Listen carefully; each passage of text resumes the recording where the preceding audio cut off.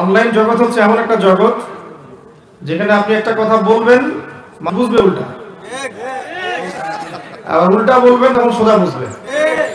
যারা উল্টা বুঝায়, ওদের নিয়ে কোনো আপত্তি নেই। যারা সোজা বুঝাতে চায়, তাদের কথাকে উল্টা করতে পারলে বাঁচে জানি না আমরা কবে আমাদের ভালো বুঝব। আল্লাহ ভালো জানেন আমাদের তাকদিরে কি আছে। তো আপনারা সাগর পাড়ের মানুষ, আর আমার ভারত পাড়ের মানুষদের মন অনেক বড় হয়। আজকে আমাদের মৌলিক সমস্যাগুলো হচ্ছে মনের মধ্যে, কলবের মধ্যে। কলবের মধ্যে এত কালিমা, এত হিংসা, এত বিদ্বেষ, ঘৃণা, অহংকার, রিয়া, যে এগুলো এত অতিমাত্রা এসেছে যে কলব থেকে আল্লাহর নূর উঠে গেছে। কিন্তু যখন পর্যন্ত মানুষের কলব পরিষ্কার হয় না, ততক্ষণ পর্যন্ত মানুষ আল্লাহর মারেফাত অর্জন করতে পারে না। কলব পরিশুদ্ধ হবে কীভাবে? যারা বেশি থেকে বেশি আল্লাহ পাকের এই যে বই আল কোরআন তেলাওয়াত করে, বেশি থেকে বেশি এর অর্থ বুঝুক চাই না বুঝুক। যারা বেশি বেশি তেলাওয়াত করে কলব পরিষ্কার হবে আর যারা অর্থ বুঝে পড়ে, তাদের তো প্রশ্নই ওঠে না। তাদের হৃদয়ের মধ্যে কোন রকমের কলুষতা থাকার কথা নয়। যারা বেশি বেশি মৃত্যুকে স্মরণ করে, তাদের কলবের মরিচা পরিষ্কার হয়। যারা বেশি বেশি আল্লাহর জিকির আসগার করে তসবি তাহলিল করে আল্লাহর কাছে দোয়া করে, কবর জিয়ারত করে তাহাজুদের নামাজ পড়ে, ফরজের পর নফল রোজা রাখে, বেশি বেশি দান সাদাকা করে, ইয়েতিমের দায়িত্ব নেয়, বিধবাদের খোঁজ খবর নেয়, মানবতার কল্যাণে কাজ করে, মন পরিষ্কার হয়ে যাবে তো মন যদি পরিষ্কার না হয়, কলব যদি পবিত্র না হয়, তাহলে ইয়া আইয়াতুহান নাফসুল মুতমাইন্নাহ। এই আয়াতটা আমার ক্ষেত্রে প্রযোজ্য হবে না। যারা নফসটাকে পবিত্র করতে পারবে, তাদেরকে আল্লাহ পাক এই আহ্বান করবেন, হে প্রশান্ত আত্মা ইরজিই ইলা রাব্বিকি রাদিয়াতান মারদিয়া, সন্তুষ্ট হয়ে তোমার রবের দিকে ফিরে চলো, ফিরে এসো। আমার বান্দাদের অন্তর্ভুক্ত হও। এখানে ইবাদি মানে কিন্তু আল্লাহর জান্নাতি বান্দাদের অন্তর্ভুক্ত হও। ওয়াদখুলি জান্নাতি, এবং জান্নাতীদের অন্তর্ভুক্ত হও। যারা সারাটা দিন মনের মধ্যে হিংসা, বিদ্বেষ ধমত রিয়া, অহংকার পুষে থাকে, তাদের মনের মধ্যে কোশ্চিন কেন নূর আসতে পারে না? নামাজের খবর নাই, রমাদানের সওমের খবর নাই, ফরজ জাকাতের খবর নাই। হজ ফরজ হয়েছে, হজের খবর নাই। সৎ কাজের আদেশ নেই, অসৎ কাজের নিষেধ নাই, পিতামাতার খেদমত নাই, পর্দা নাই পরিবারে ইসলাম নাই, জীবনের উদ্দেশ্য জানে না, সারাদিন অহেতুক অনর্থক কথা এবং কাজে সময় নষ্ট করে। মাদক, জুয়া, ক্যাসিনো, পর্নোগ্রাফি ফ্রি মিক্সিং অশ্লীলতা, তারপরে আর কি আছে? বেহায়াপনা, বেপর্দা, অপসংস্কৃতি গান বাজনা বাদ্যযন্ত্র, এইসব বিষয় যারা লিপ্ত থাকে, দিনের পর দিন, মাসের পর মাস, বছরের পর বছর কোশ্চিন কালে তাদের মনের মধ্যে আল্লাহ নূর আসবে না। যে ব্যক্তি দুনিয়াতে আল্লাহ নূর অর্জন করতে পারে নাই, তার কবরে আপনি আলো পাবেন না। আর যার কবরে আল্লাহ নূর আসবে না, আলো আসবে না পুলসিরাত পার হওয়ার সময়ও তার সাথে নূর থাকবে না। সুরা নূরের মধ্যে পড়ে দেখবেন, আল্লাহ বলেছেন যে আল্লাহ যাকে নূর দেন না তার কোনো নূর নাই, আলো নাই। দুনিয়াতেই আত্মা বা কলব পরিশুদ্ধ করতে হবে, মৃত্যুর আগেই। যে কাজগুলো করলে আত্মা পরিশুদ্ধ হবে, সেগুলো বেশি বেশি করতে হবে। এবং যে কাজগুলো করলে এবং ধার কাছে গেলেও আত্মা মরে যায়, নফসটা মরে যায়, কলুষিত হয়ে যায়, এগুলোর ধার কাছে যাওয়া যাবে না। ওই অবস্থায় মৃত্যু হয়ে গেলে তার কবর এবং পরকালে কুলসিরাতে নূর থাকবে না। নূর কি জিনিস? আসেন, এটা একটা বুঝুন আগে। নূরটা কি জিনিস? আল্লাহ পাকের পক্ষ থেকে এমন একটা জ্যোতি বা আলো যেটা আপনাকে এই দুনিয়াতেও যাবতীয় রকম জাহেরিয়াত থেকে বাঁচাবে। পরকালেও আল্লাহ পাকের দিদার লাভে ধন্য করবে। নূর, আলো। একটা গভীর রাত। গভীর রাতের মধ্যে একটা কালো পাথর। এই কালো পাথরের উপরে কালো পিঁপড়া হেঁটে যাচ্ছে। এই পিঁপড়াকে আপনি দেখতে পারবেন? কি থাকলে আপনি পিঁপড়াকে দেখতে পারবেন? সহজ উত্তর। যার কাছে আল্লাহ নূর আছে যার কাছে আলো লাইট আছে, সে দেখতে পারবে। আল্লাহ বিরোধী কাজগুলো করতে থাকলে কি আলো পাওয়া যাবে? আজকে এমন একটা সভ্যতা চলছে যে অন্ধকারের পথযাত্রী যারা, ওরা আমাদেরকে আলোর সংজ্ঞা শিখায়। আমার কথা মনোযোগ দিয়ে শুনতে হবে। আমি তো সুর দিতে পারি না, আপনারা জানেন। আমি সুর দিতে গেলে এমন কিছু শোনাবে যে দর্শক উঠে চলে যেতে পারে। ওই রিক্স আমি নিতে যাচ্ছি না। তো একটু ঠান্ডা মাথায় বোঝার চেষ্টা করতে হবে যে যারা এখন অন্ধকারের দিকে হাঁটছে, অন্ধকারের পথযাত্রী, অন্ধকার কি? আল্লাহর অবাধ্যতা। আল্লাহর নাফর মানে। আল্লাহ যা করতে বলেছেন করবে না। যা করতে বলেন নাই সেগুলোই করবে। এই পথে যারা হাঁটছে, এরা এখনকার বিশ্বে মুসলিমদেরকে আলোর সংজ্ঞা শেখায়। আলো এখানে আসলে পাওয়া যাবে, ওইখানে আসলে পাওয়া যাবে। আলোর পথযাত্রী। আসলে বাস্তবিক অর্থে এরা অন্ধকারের পথযাত্রী, আমাদেরকে আলোর সংজ্ঞা শেখায়। প্রকৃত আলো কোথায় পাবেন? এই যে, আল্লাহ পাকের কিতাব। আল্লাহ রাব্বুল আলামিন এই কিতাবের মধ্যে একটা সূরা নাযিল করেছেন, সুরা নূর। আছে? শুধু সূরা নূরটাই যদি পড়েন, শুরু থেকে শেষ পর্যন্ত অর্থ সহ কারণ অর্থ না পড়লে আপনি মূল মেসেজটা পাবেন না। অর্থ না পড়লে আপনি মূল মেসেজটা পাবেন না প্রতি হরফে দশ নেকি ঠিকই পাবেন। আমি কোনোদিনও বলি নাই যে অর্থ ছাড়া কোরআন পড়া যাবে না। বলেছি অর্থ ছাড়া কোরআন পড়লে কোরআনের মূল হকটা আদায় হচ্ছে না। এতটুকু বলেছি। অপরাধ করেছি? আল্লাহ একটা কিতাব নাজিল করেছেন এর মধ্যে কিছু মেসেজ দিয়েছেন বার্তা দিয়েছেন এটা করতে হবে এটা করা যাবে না এটা করো এটা ধার কাছে যেও না। এটা যদি আমি না জানি, না বুঝি, তাহলে কি ওই কাজটা আমার দ্বারা হবে? তো জানতে হলে, বুঝতে হলে আমাকে তার অর্থটা তো জানতে হবে। অর্থ না জেনেও যদি কেউ কোরআন পড়ে, তার প্রত্যেক হরফে দশ নাকি হবে, কোনো ডাউট নাই। এই কোরআন তার পক্ষে সাক্ষী দিবে, ইনশাআল্লাহ। হাফেজ হয়ে সে উঠবে। হাফেজ কোরআনের পিতা মাতাদেরকে সম্মান দেওয়া হবে, সবই ঠিক আছে। কিন্তু অর্থ বুঝে পড়লে কোরআনের যে হকটা আদায় হতো, সেটা কি আদৌ আদায় হবে? এই কথাটাই বলতে চেয়েছি। কিন্তু মানুষ উল্টা বুঝেছে, উল্টা ব্যাখ্যা করেছে। মানে আপনি যদি বিতর্কিত করতে চান, এই অনলাইনের যুগে এটা দুই মিনিটের ব্যাপার। যে হোক না কেন বিশ্বের, তার বক্তব্যকে আপনি কাটছাট করে উল্টা পাল্টা তাকবিল করে তাকে বিতর্কিত করতে পারবেন।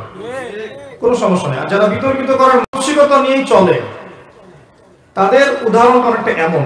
আজকে আমি গাড়িতে আসতে আসতে আমার সহধর্মিনীর সাথে কথা বলছিলাম। শুনো বিতর্কিত যারা করতে চায় তাদের ব্যাপারটা অনেকটা এমন। সে বলল কেমন? আমি বললাম শোনো তোমাকে দিয়ে এক্সাম্পল দিয়েছি। আচ্ছা, আমাকে দিয়ে কেমন করে? শোনো তুমি একটা প্রেস কনফারেন্স করেছিলাম মনে আছে? আপনারা তো জানেন সেখানে সে বলেছে যে ঠিক আমি যেমন উনিও তেমন। আমি মাঝে মাঝে ওর কনফারেন্সটা দেখি। এবং আমি আল্লাহ শুক্রিয়া আদায় করি যে আল্লাহ পাক এমন একজন সাহসী স্ত্রী আমার ঘরের মধ্যে দিয়েছে আমরা দোয়া করি আল্লাহ পাক তার নেক হায়াতকে লম্বা তো সে একটা জায়গায় বলেছে যে মানে আমার ইনোসেন্স বুঝাতে আমি যে আমি যে অপরাধ করিনি বা আমি যে অপরাধী নই আমি যে অসহায় সাধারণ একটা মানুষ এটা বোঝাতে গিয়ে সে বলেছে ঠিক আমি যেমন উনিও তেমন। ঠিক আমি যেমন উনিও তেমন। দুইবার রিপিট করেছে। মানে ও বোঝাতে যাচ্ছে ও যেমন একটা সাধারণ মানুষ জনগণ আমার স্বামীও তেমনই। তিনি কোনো দল কোনো মত কোনো শত্রু মিত্র কারোর সাথে জড়িত না আমার স্বামীকে আমার কাছে ফিরিয়ে দিন না হলে আমাকে তার কাছে নিয়ে যান। এরকম করে বলেছে না? যদি কেউ বিতর্কিত করতে যায় দেখবেন ওর মাইন্ডসেটটা কেমন হবে? সমালোচক এবং বিতর্কিতকারীদের মাইন্ডসেট হবে এমন। আদনান সাহেবের স্ত্রী বলেছেন, ঠিক আমি যেমন, উনিও তেমন। অতএব সাবিকুল নাহার, আদনান সাহেবের স্ত্রী, তিনি প্রমাণ করলেন যে আদনান সাহেব একজন মহিলা।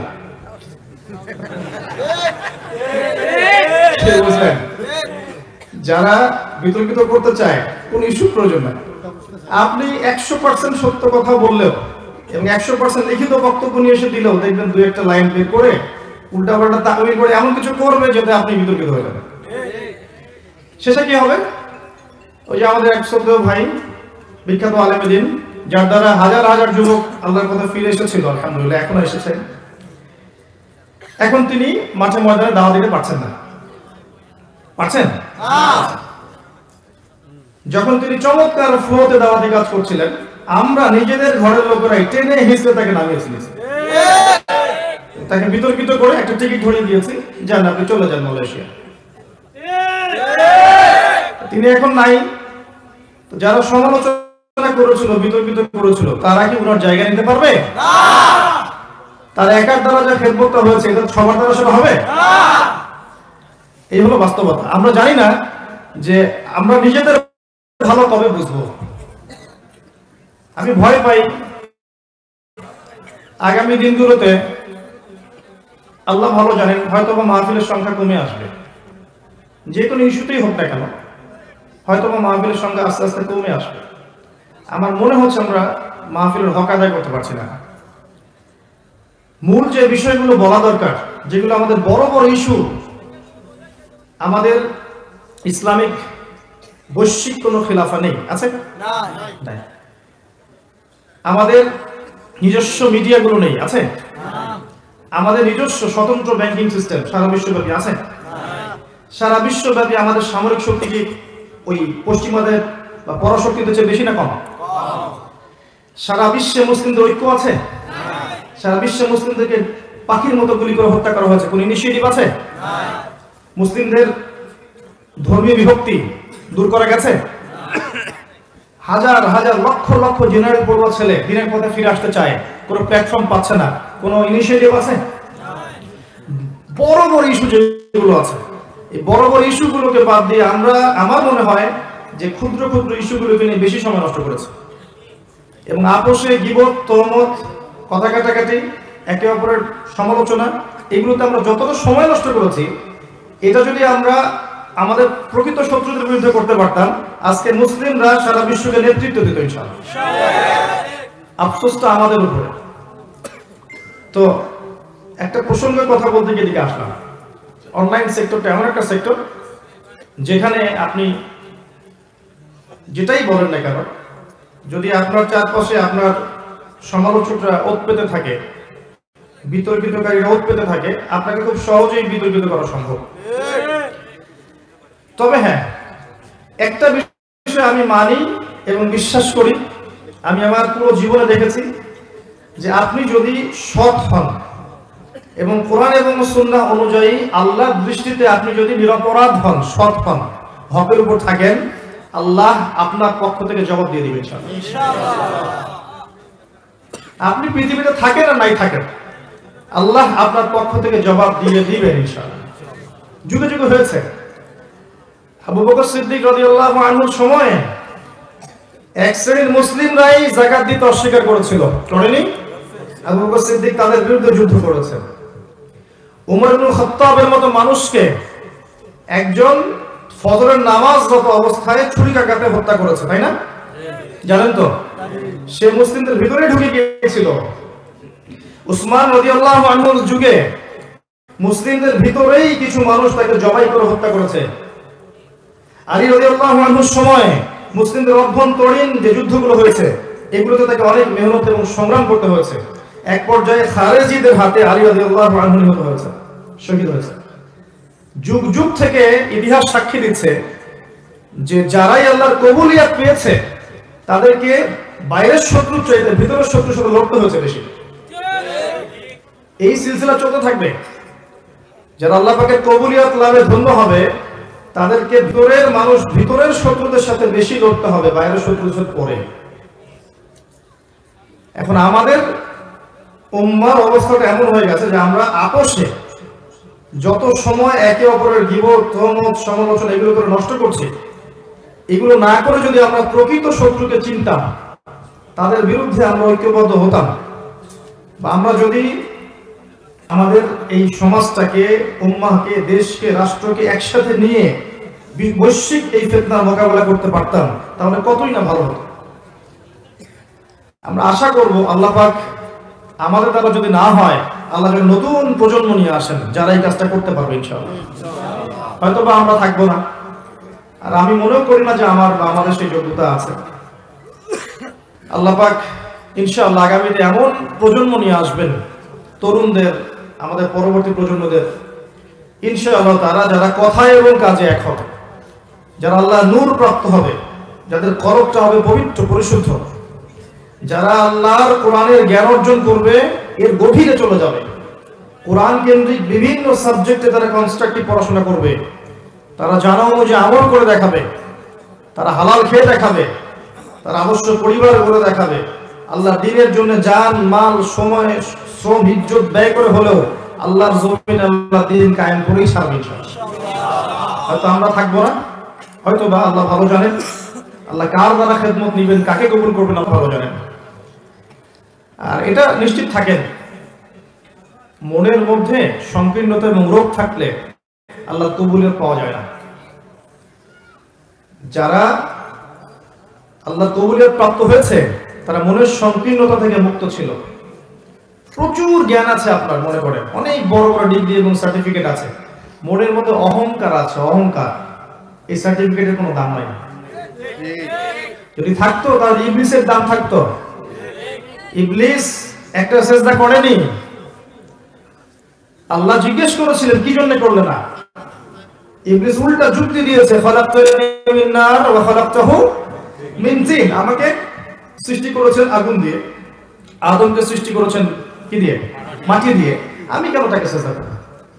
আবা ওয়াস্তাকবারা অবাধ্য তো হলোই, এরপরে সে অহংকার করল।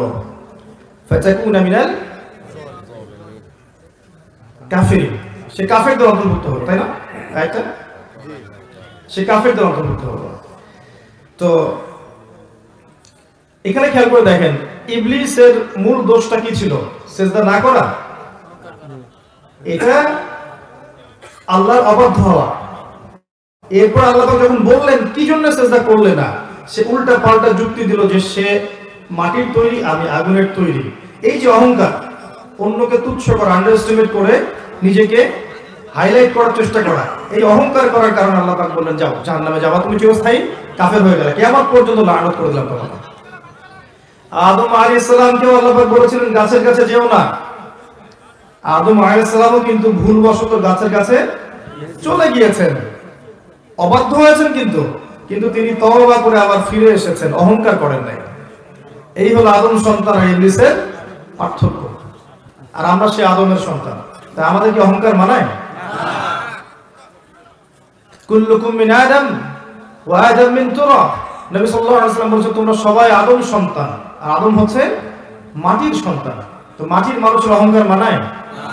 আমার যদি অনেক ডিগ্রি সার্টিফিকেট সবকিছু থাকে, এরপরেও মনের মধ্যে কেবার থাকে, রিয়া থাকে অহংকার থাকে, লৌকিকতা থাকে, এই ডিগ্রি সার্টিফিকেটের আল্লাহর কাছে কোনো দাম নেই। বিনয়ী হতে হবে, ওই যে সাগরের মতো। আপনারা সাগর পাড়ের মানুষ বুঝবেন বুঝাচ্ছি। আমি একজন ক্ষুদ্র মানুষ। সাগরের আয়তনের তুলনায় আমি ক্ষুদ্র না, একদম ক্ষুদ্র। আপনাদের বিচে গিয়ে দাঁড়ালাম। একা। বিশাল সাগরের সামনে দাঁড়িয়ে আছে। আপনার সাগরের প্রচণ্ড শক্তি আছে, গর্জন আছে। আয়তনে বড় সে আল্লাহর আরও অনেক বড় সৃষ্টি, আমি ক্ষুদ্র একটা সৃষ্টি। আমি যখন তার সামনে গিয়ে দাঁড়াচ্ছি, এই বিশাল সাগর, দেখেন, বিনয়ের সাথে আমার পা ধুয়ে দিচ্ছে। খেয়াল করে দেখেছেন? সাগর কি করছে আমার? পা ধুয়ে দিচ্ছে সুফান আল্লাহ দাঁড়ান, সাগরের সামনে গিয়ে সাগর আপনার পা ধুয়ে দিবে। তো বিশাল সাগর, অহংকার করে না কিন্তু যখন আল্লাহ তাকে আদেশ করবেন যে, আমার এই বান্দারা আমার আদেশ মেনে চলছে না, এদেরকে জলোচ্ছ্বাস দিয়ে উড়িয়ে দাও। তখন সাগর ঠিকই উড়িয়ে দিবে। প্রকৃতি আল্লাহর আনুগত্য করে, মানুষ করে না। ইল্লা আগর গাছ দেখেছেন? আগর আতরের গাছ দেখেছেন? কীভাবে আতর উৎপন্ন করে, দেখেছেন কখনো? সিলেট মৌলভীবাজার অঞ্চলে যাবেন, দেখতে পারবেন। আমি রিকোয়েস্ট করব জীবনে একবার হলো দেখে আসেন। এখান থেকে একটা শিক্ষা বলি। আমি সেখানে প্রোগ্রামে গিয়েছিলাম। সেখানকার জায়গাটা আপনারা জানেন বরকতময় কারণ সেখানে শাহজারা রাহিমাউল্লাহ ওখানে কবর আছে। যদিও মানুষ তার কবরকে কেন্দ্র করে অনেক আজে বাজে কাজ করছে যেটা ইসলাম সমর্থন করে না। কিন্তু হিস্ট্রিটা ঘাটলে আপনি দেখবেন সেখানে গৌর গোবিন্দ নামে একজন বাচ্চা ছিল মানে মানে বাচ্চা না রাজা ছিল। গৌর গোবিন্দ নামে একজন রাজা ছিল। এ ছিল জালেম প্রচণ্ড জালেম। জুলুমের এমন কোন সেক্টর নাই যা সেটা যে সেটা করতো না। এমনকি মুসলিম, অমুসলিম সবার উপর সে জুলুম করতো। কয়েক দফায় তৎকালীন আমাদের সাবকন্টিনেন্টের যে মুসলিম শাসকরা ছিলেন, তারা সৈন্য পাঠিয়েছিলেন, কিন্তু কয়েক দফায় সৈন্যরা সেখান থেকে ব্যর্থ হয়ে ফিরে আসে। এরা অন্যতম একটা কারণ ছিল রাজা গৌর গোবিন্দ জাদু জানতো। জাদুবিদ্যায় খুব পারদর্শী ছিল। জাদুবিদ্যায় খুবই পারদর্শী ছিল সে। এক পর্যায়ে এই শাহ জালাল রাহিমাহুল্লাহ তিনি তার তিনশো ষাট জন অনুসারীকে নিয়ে এই জায়গাটা আক্রমণ করেন। সুরমা নদীর তীরে তারা ক্যাম্প স্থাপন করেন। সেখান থেকে নদী পার হয়ে এই জায়গায় আক্রমণ করে। হিস্ট্রির বইগুলোতে আছে সত্য মিথ্যা আল্লাহ জানেন। তিনি বলেছিলেন যে, আমার এই তিনশো ষাট জনের মধ্যে কে এমন আছো যে একদিনও ফজরের নামাজ কাজা করনি? সে এখানে দাঁড়িয়ে আজান দিবে। তো একজন তার মরিদ আর কি, অনুসারী সে দাঁড়িয়ে আজান দিয়েছিল। হিস্ট্রির বইগুলোতে লিখা আছে, আমি সত্য মিথ্যা যাচাই করতে পারব না, আল্লাহ ভালো জানেন, যে ওই আজানের ধ্বনি, আল্লাহ আকবার আল্লাহ আকবার, এই ধ্বনি যখন উচ্চারিত হয়েছে, রাজা গৌর গোবিন্দের প্রাসাদ চুরমার হয়ে গেছে, ভেঙে গেছে। প্রাসাদ, প্রাসাদের যে পিলার, এটা ফাটল ধরা শুরু হয়ে গেছে। আল্লাহর কুদরতে সবই সম্ভব সবই সম্ভব। তো ওই জায়গায় দেখেন, মুসলিমদের নাম নিশান ছিল না, এখন সেখানে গিয়ে দেখবেন অসংখ্য মুসলিম এবং তারা মার্শাল্লাহ বেশিরভাগই নামাজি। দিনের মহব্বত আছে, দিনের পিছনে মেহনত করে। দেখবেন জায়গাটার আবহাওয়া অত্যন্ত সুন্দর এবং সেখানে আগুন উৎপন্ন হচ্ছে, আতর উৎপন্ন হচ্ছে, গ্যাস আছে গ্যাসের পর তেল আসবে ইনশাল্লাহ চা আছে, মানুষের রিজিকের প্রশস্ততা আছে। জায়গাটা বরকতময়, একটু আধ্যাত্মিক ফ্লেভার আছে, গিয়ে দেখবেন। একটা এক্সপিরিয়েন্স বলছি, যে একটা গাছ, গাছটার নাম আগর তো এখান থেকে আতর উৎপন্ন করা হয়। এই গাছটা এরকম পাতলা হয়, বাঁশের মতোই। কোন কোন একটু মোটা হয়, কিন্তু বেশিরভাগই পাতলা হয়। এই গাছের মধ্যে অনেকগুলো পেরেক মারতে হয়। গাছটার মধ্যে অনেকগুলো পেরেক, বোঝেন কি? তার কাটা। হাজার হাজার তার কাটা গাছে মারতে হয়। এভাবে দুই তিন বছর মনে হয় রেখে দিতে হয়। গাছ তার প্রাণ আছে না? গাছের জীবন আছে না? গাছটা তার গায়ে এরকম হাজার হাজার তার কাটার আঘাত সহ্য করে তিন বছর থাকে। থাকার পরে ওর মধ্যে পচন ধরে। পচন ধরার পরে তারা গাছটা কেটে ফেলে। কাটার পর গাছের কাঠগুলোকে টুকরা টুকরা করে, ছোট ছোট পিসে সেগুলোকে বিভিন্ন প্রসেসিং এর মধ্য দিয়ে নিয়ে এসে ওই পচা কাঠগুলো থেকে বাষ্পীভূত করে আমাদের যে অরিজিনাল আতর, খাঁটি যে আতরটা সেই আতরটা উৎপন্ন করা হয়। এখানে আপনাকে বলি, যে সাগরের এক্সাম্পল থেকে এখানে আসা সাগর যেমন আপনার পা ধুয়ে দিচ্ছে, এই গাছটাকে তাকিয়ে দেখেন, নিজে নিজের গায়ে অজস্র কাটার আঘাত সহ্য করে আপনাকে সুগন্ধি দিচ্ছে। আমি কি বুঝতে পারছি? আরও আসেন তারা কি উটের দিকে তাকিয়ে দেখেন না কীভাবে তাকে সৃষ্টি করা হয়েছে? কোন সূরা আছে ভাই? বলেন, আপনারা বলেন। ঘষিয়ে আছে। শোনেন ভাই, এগুলোর অ্যান্সার যতদিন দিতে পারব না। মানে কোরআন সম্পর্কে পূর্ণ ধারণা থাকবে না। আল কোরআনের আলো কি সত্যি ঘরে ঘরে জ্বলবে? যখন আপনি কোরআন সম্পর্কে পূর্ণ জ্ঞান রাখছেন, কোরআনের করছেন অটোমেটিক আল কোরআনের আলো ঘরে ঘরে জ্বলবে অটোমেটিক জ্বলবে ইনশাআল্লাহ। আল্লাহ বলছেন, তারা কি উটের দিকে তাকিয়ে দেখে না? কীভাবে তাকে সৃষ্টি করা হয়েছে? মরুভূমির জাহাজ, নিজে পানি না খেয়ে আপনাকে মাইলের পর মাইল সফর করাবে, নিজে পানি না খেয়ে। কথা বুঝতে পারছেন? আকাশের দিকে তাকিয়ে দেখে না যে আকাশ কীভাবে ছায়া ছাদ হয়ে আছে? কোন স্তম্ভ ছাড়াই অন্য সুরে আছে এটা। এই আকাশ জমিনটাকে বুকে জড়িয়ে রেখেছে, খেয়াল করে দেখেন। এবং জমিনবাসীর উপরে মহাকাশ থেকে কোনো বিপদ আপদ আসতে দেয় না। আল্লাহ এমন ভাবে সৃষ্টি করেছেন আকাশটাকে। যারা সায়েন্সে পড়েছেন, তারা জানেন যে ওজোন স্তর আছে না? এই যে ক্ষতিকর প্রভাবগুলো এখান থেকে রক্ষা করে না। আমাদেরকে আল্লাহ এমন ভাবে সৃষ্টি করেছেন। পাহাড়ের দিকে তাকিয়ে দেখো। কীভাবে? পাহাড়টাকে একেবারে পেরেকের মতো গেঁথে দেওয়া হয়েছে, দৃঢ়ভাবে।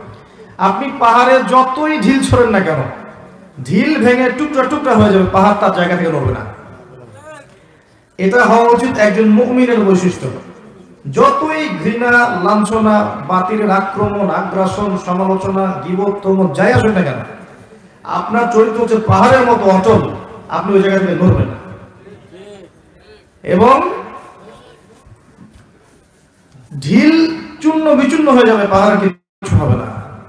এবং পাহাড় শুধু দৃঢ়ই থাকে না, সে শান্ত থাকে, সে নম্র থাকে, সে ঝগড়াঝাটি করে বেড়ায় না, সে শান্ত শিষ্ট থাকে। ওর দিকে ঢিল চুলে ঢিল ভেঙে যাবে, সে শান্ত থাকে। ওয়াইলাল আরদি কাইফা সুতিহাত, জমিনের দিকে তাকিয়ে দেখো, জমিকে কেমন করে প্রশস্ত করা হয়েছে বিছানার মতো। আমাদের যত কষ্ট আমরা জমিনকে দেই না ভাই? এই যে পানি তোলা থেকে শুরু করে বাড়ি বানানো ইত্যাদি ইত্যাদি, যত প্রজেক্ট আছে, মাটির উপর করি না? কোনোদিন টু শব্দ করেছে? করে নাই। আমাদেরকে বুকে আগলায় রেখেছে।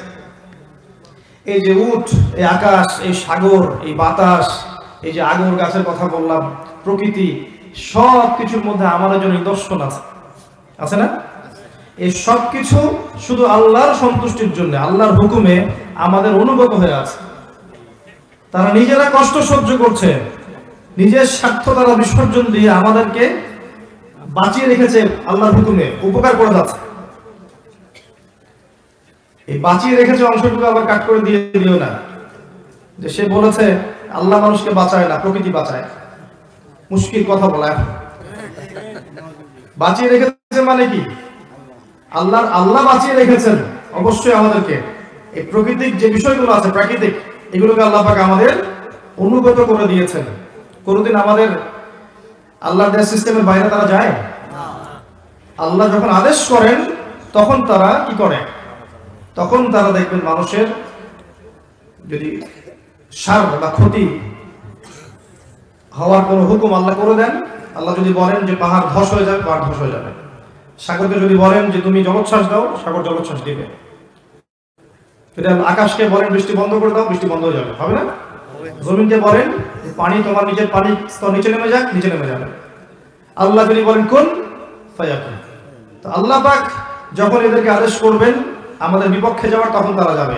আদারওয়াইজ তারা আমাদের কল্যাণকামী, উপকার করতে থাকবে। নিজের স্বার্থ বিসর্জন দিয়ে হলেও তারা আমাদের স্বার্থটা দেখবে। আল্লাহ এমন ভাবে ওদেরকে সৃষ্টি করেছে খেয়াল করে দেখেন, তারা সবাই কিন্তু অহংকার মুক্ত। আছে অহংকার? আর যে মানুষের জন্য এত কিছু, তার কলিজের মধ্যে দেখেন কত অহংকার। আর অহংকারটা কি?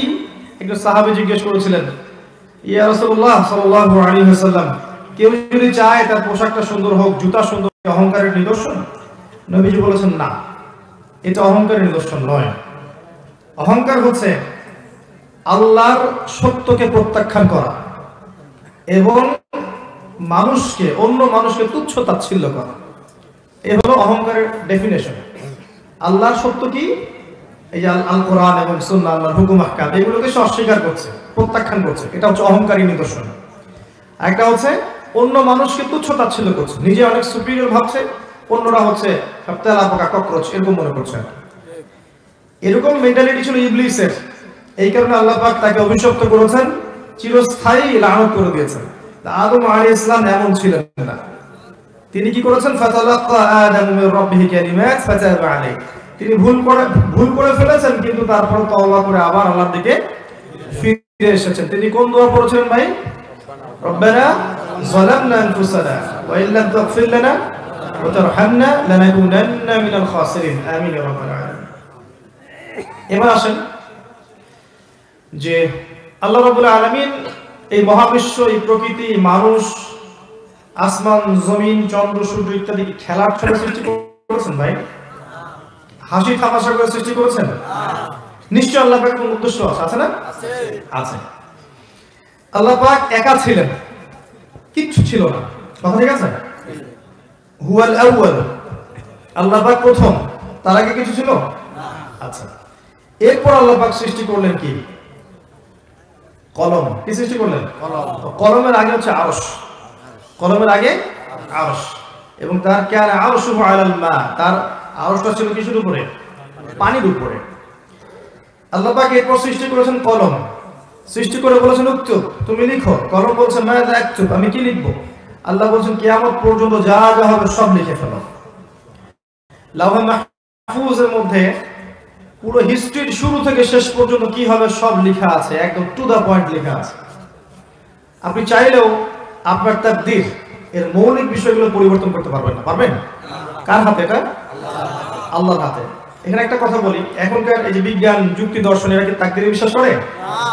করে না। আর তাকদীর হচ্ছে ইমানের ছয় পিলারের এক পিলার।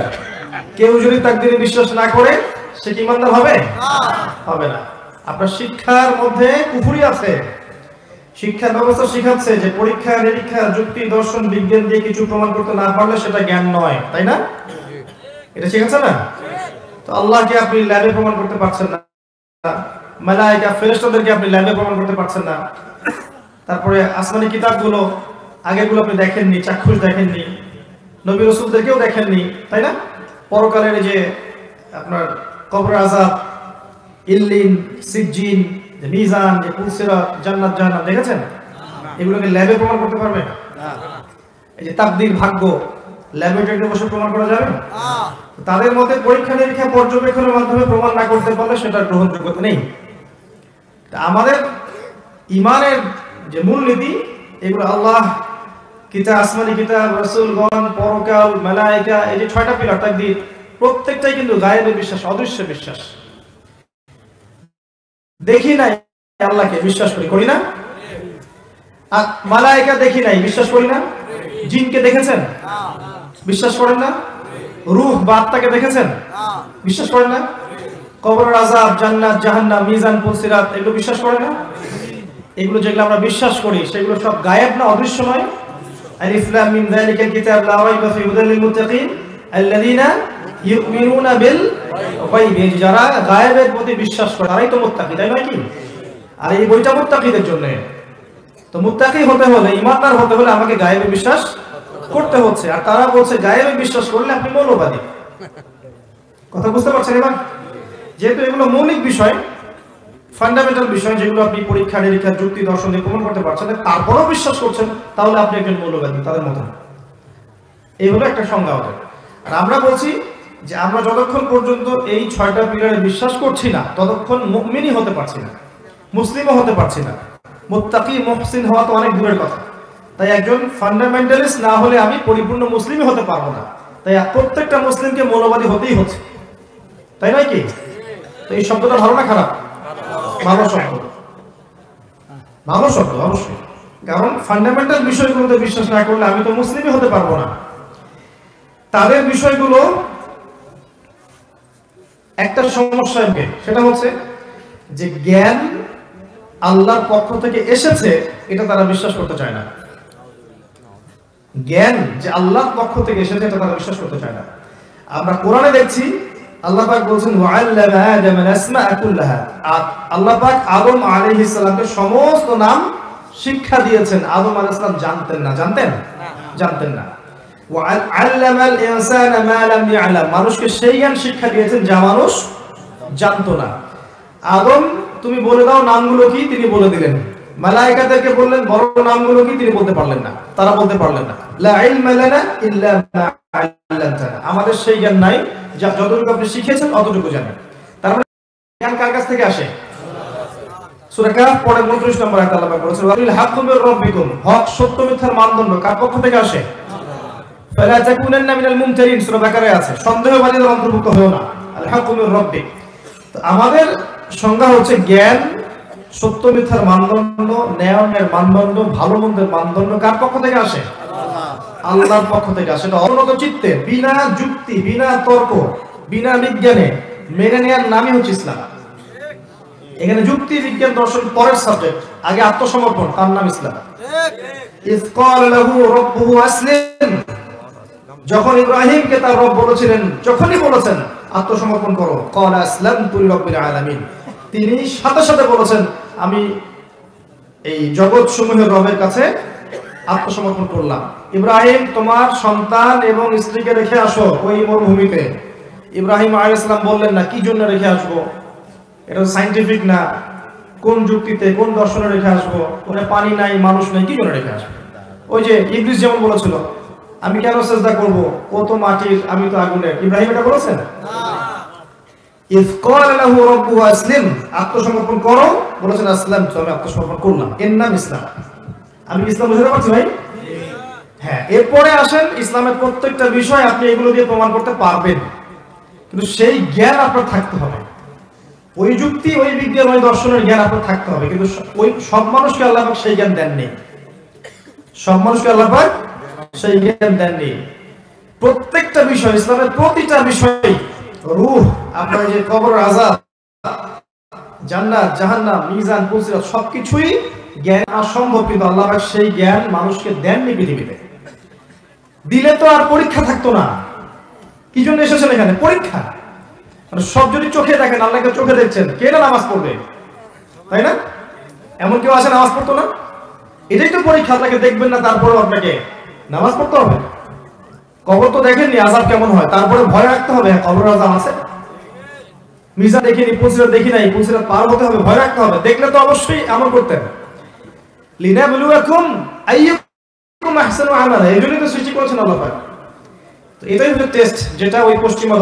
এবং ওদের বুঝতে পারে নাই। এখানে ইসলামের মূলনীতি হচ্ছে যে আমরা গায়েবে বিশ্বাস করি, না করা পর্যন্ত আমরা মুসলিম হতে পারছি না। আল্লাহ পাক এবার আদম এবং হাওয়া আলাইহিস সৃষ্টি করে জান্নাতে রেখে পরীক্ষা নিয়ে দুনিয়াতে পাঠিয়েছেন। দুনিয়াতে পাঠিয়ে আল্লাহ পাক একটা মূলনীতি দিয়েছেন, এটা ভালো করে বোঝো। আল্লাহ পাক মূলনীতি দিয়ে পাঠিয়েছেন। সূরা বাকারা, আয়াত নাম্বার 38 39 কুল নাহবিতু মিনহা জামিআ। আল্লাহ পাক বলেন তোমরা এখন পৃথিবীতে নেমে যাও। কে কে নেমে যাবে? আদম। হাওয়া আলাইহিস সালাম ইবলিস, তোমরা নেমে যাও। ফাইম্মা ইয়াতিয়ান্নাকুম মিন্নি হুদান। তোমাদের কাছে আমার পক্ষ থেকে হেদায়েত আসবে। মানে প্রত্যেক যুগে যুগে আমার পক্ষ থেকে হেদায়েত মানে আসমানি কিতাব, নবী রাসূলগণ আসবে। ফামান তাবিআ হুদায়া, যারা আমার হেদায়েতকে মেনে চলবে, ফালা খাউফুন আলাইহিম ওয়ালা হুম ইয়াহজানুন, তাদের কোনো ভয় নাই, কোনো দুশ্চিন্তাও নাই। এই দুনিয়ার জীবনে হায়াত দেওয়া হবে একশো, দুইশো, তিনশো, পাঁচশো, হাজার বছর। আগে তো ছিল হাজার বছর, এখন না হয় আমাদের একশো কম। গড়াইও আর কি? তো এই সময়টুকুতে তোমাদের কাছে হেদায়ত আসবে, আসমানি কিতাব আসবে নবী রসুলগুন আসবে যদি নবী রসুল না থাকেন ওলামাই গ্রামের মুখ থেকে হক শুনবে আল্লাহ কিতাব থাকবে, হেদায়ত পৌঁছে যাবে। এরপর যারা আমার হেদায়তকে মেনে চলবে, ফালা কোনো টেনশন নাই, কোনো দুশ্চিন্তা নাই। আবার সেই জানতে ফিরে আসবে ইনশাআল্লাহ, যেখান থেকে চলে গেছে। ঠিক আছে? এখানে একটা কথা মনে পড়ল, বলে দিই। এখন কিছু মানুষ এলিয়েন খোঁজে না, অন্য গ্রহ থেকে আসছে সিগন্যাল ইত্যাদি না। ও বেটা নিজেই জানে না যে আমরা মানুষরাই তো এই গ্রহের বাসিন্দা না। তাই না? আমরা তো এই গ্রহের বাসিন্দা ছিলাম না, ছিলাম। আমাদের পিতারা, পিতা ছিলেন, মা ছিলেন জান্নাতে। অন্য জায়গা থেকে আমরা এই পৃথিবীতে এসেছি, তাই নয় কি? আর ওদের ফিলোসফি হচ্ছে মানুষ বাদর থেকে হয়েছে। হ্যাঁ তারা হতে পারে বাদর থেকে মানুষ, আমরা হইনি। বরং কোরআনে আল্লাহ উল্টা কথা বলেছেন, সূরা আরাফের মধ্যে সম্ভবত আছে। ওই যে শনিবারের ঘটনা, শনিবারে মাছ ধরার ঘটনা, মনে আছে? শনিবার আল্লাহ মাছ ধরতে নিষেধ করলেন। কিছু মানুষ মাছ ধরলো না, কিন্তু টেকনিক খাটালো। মাছগুলোকে আটকে রাখল। এই অপরাধের কারণে আল্লাহ কি করেছেন? ওদেরকে বানর বানিয়ে দিয়েছে। তাহলে মানুষ থেকে বানর হয়েছে প্রমাণ আছে। বানর থেকে মানুষের কোনো প্রমাণ নাই। এখনকার ডারউইনের তত্ত্ব আপনারা হজম করছেন, লিখছেন পরীক্ষা খাতায়, মাশাআল্লাহ। এগুলো কুফুরি মতবাদ। কি মতবাদ? যখন আপনি এটা বিশ্বাস করছেন, তাহলে আপনি আদম আলী ইসলামের অস্তিত্বকে অস্বীকার করছেন। তাই নয় কি? যদি আপনি বিশ্বাস করেন যে আসলে বাদর থেকে মানুষ হয়েছে, তাহলে আদম আলী ইসলাম কি? তাকে কি আল্লাহ কি থেকে সৃষ্টি অন্য কোন প্রাণী থেকে? কখনোই না। তাকে আল্লাহ নিজ হাতে, নিজের হাতে আল্লাহ পাক মাটি থেকে, কাদা মাটি থেকে সৃষ্টি করেছেন। আল্লাহ পাক বলেন মিনহা খালাকনাকুম, ওয়া ফিহা নুঈদুকুম। নুখরিজুকুম তারাতান উখরা, তোমাদেরকে এই মাটি থেকে সৃষ্টি করেছি, আবার সেখানেই ফিরিয়ে নিব। এখান থেকে আবার পুনরুত্থিত করব, তাই না? যেভাবে প্রথমবার করেছিলাম। তো খেয়াল রাখবে, পড়াশোনা করতে গিয়ে যেন কুফরি না হয়ে যায়। তো এই একটা আয়াত আল্লাহ পাক বললেন, তোমরা নেমে যাও, কিন্তু হেদায়ত আসবে যারা হেদায়েত মেনে চলবে, তারা আবার জান্নাতে ফিরে আসবে। তারপর আরেকটা আয়াত আছে 40 আল্লাহ বলেন ওয়াল্লাযীনা কাফারু তবে যারা কুফরি করবে, ওয়াকাযযাবু বিআয়াতিনা, এবং আমার আয়াতগুলোকে মিথ্যা প্রতিপন্ন করবে, কাযযাবু মিথ্যা প্রতিপন্ন করবে তারা চিরস্থায়ী, তারা জাহান্নামের অধিবাসী হবে, হুম ফিহা তারা সেখানে চিরস্থায়ী থাকবে। এটা কি জীবন দর্শন না? সহজ সরল জীবন দর্শন। আল্লাহর পক্ষ থেকে হেদায়েত আসবে, দুনিয়ার সময়টা লিমিটেড এই সময় হেদায়েত আপনার কাছে আসবে। এটা আল্লাহর দায়িত্ব। পৌঁছে দেয়া। এরপর যদি আপনি মেনে নেন আপনি সেই জান্নাতে যাবেন ইনশাআল্লাহ যেখান থেকে এসেছেন। ইনশাআল্লাহ আর যদি আপনি না মানেন অস্বীকার করেন মিথ্যা প্রতিপন্ন করেন তাহলে ওই ইবলিসের সাথেই অহংকার ইবলিসের সাথেই চিরস্থায়ী জাহান্নামে যেতে হবে। আমরা এখন কি চাই সেটা আমাদেরকে সিদ্ধান্ত নিতে হবে। তাই নয় কি? আল্লাহ কি জোর করবেন? আল্লাহ জোর করবেন না। রাব্বিকুম শাআ ফালইউমিন, যার ইচ্ছা হয় সে ঈমান আনুক। শাআ ফালইয়াকফুর, যার ইচ্ছা হয় অস্বীকার করুক। আল্লাহ দুনিয়াতে দিতে পারেন, বিপদ আপদে ফেলতে পারেন, শাস্তি দিতে পারেন, চিরস্থায়ী জাহান্নাম দুনিয়াতে দিবেন না, দিবেন? আল্লাহ ফিরে আসার সুযোগ দিবেন। আর আল্লাহ আরও বলেছেন ওয়াহাদাইনা ওয়ান আমি দুইটা পথ দেখিয়ে দিয়েছি। অন্য সূরা আল্লাহ বলেছেন ইচ্ছা হলে তুমি কৃতজ্ঞ হও, ইচ্ছা হলে অকৃতজ্ঞ হও। তার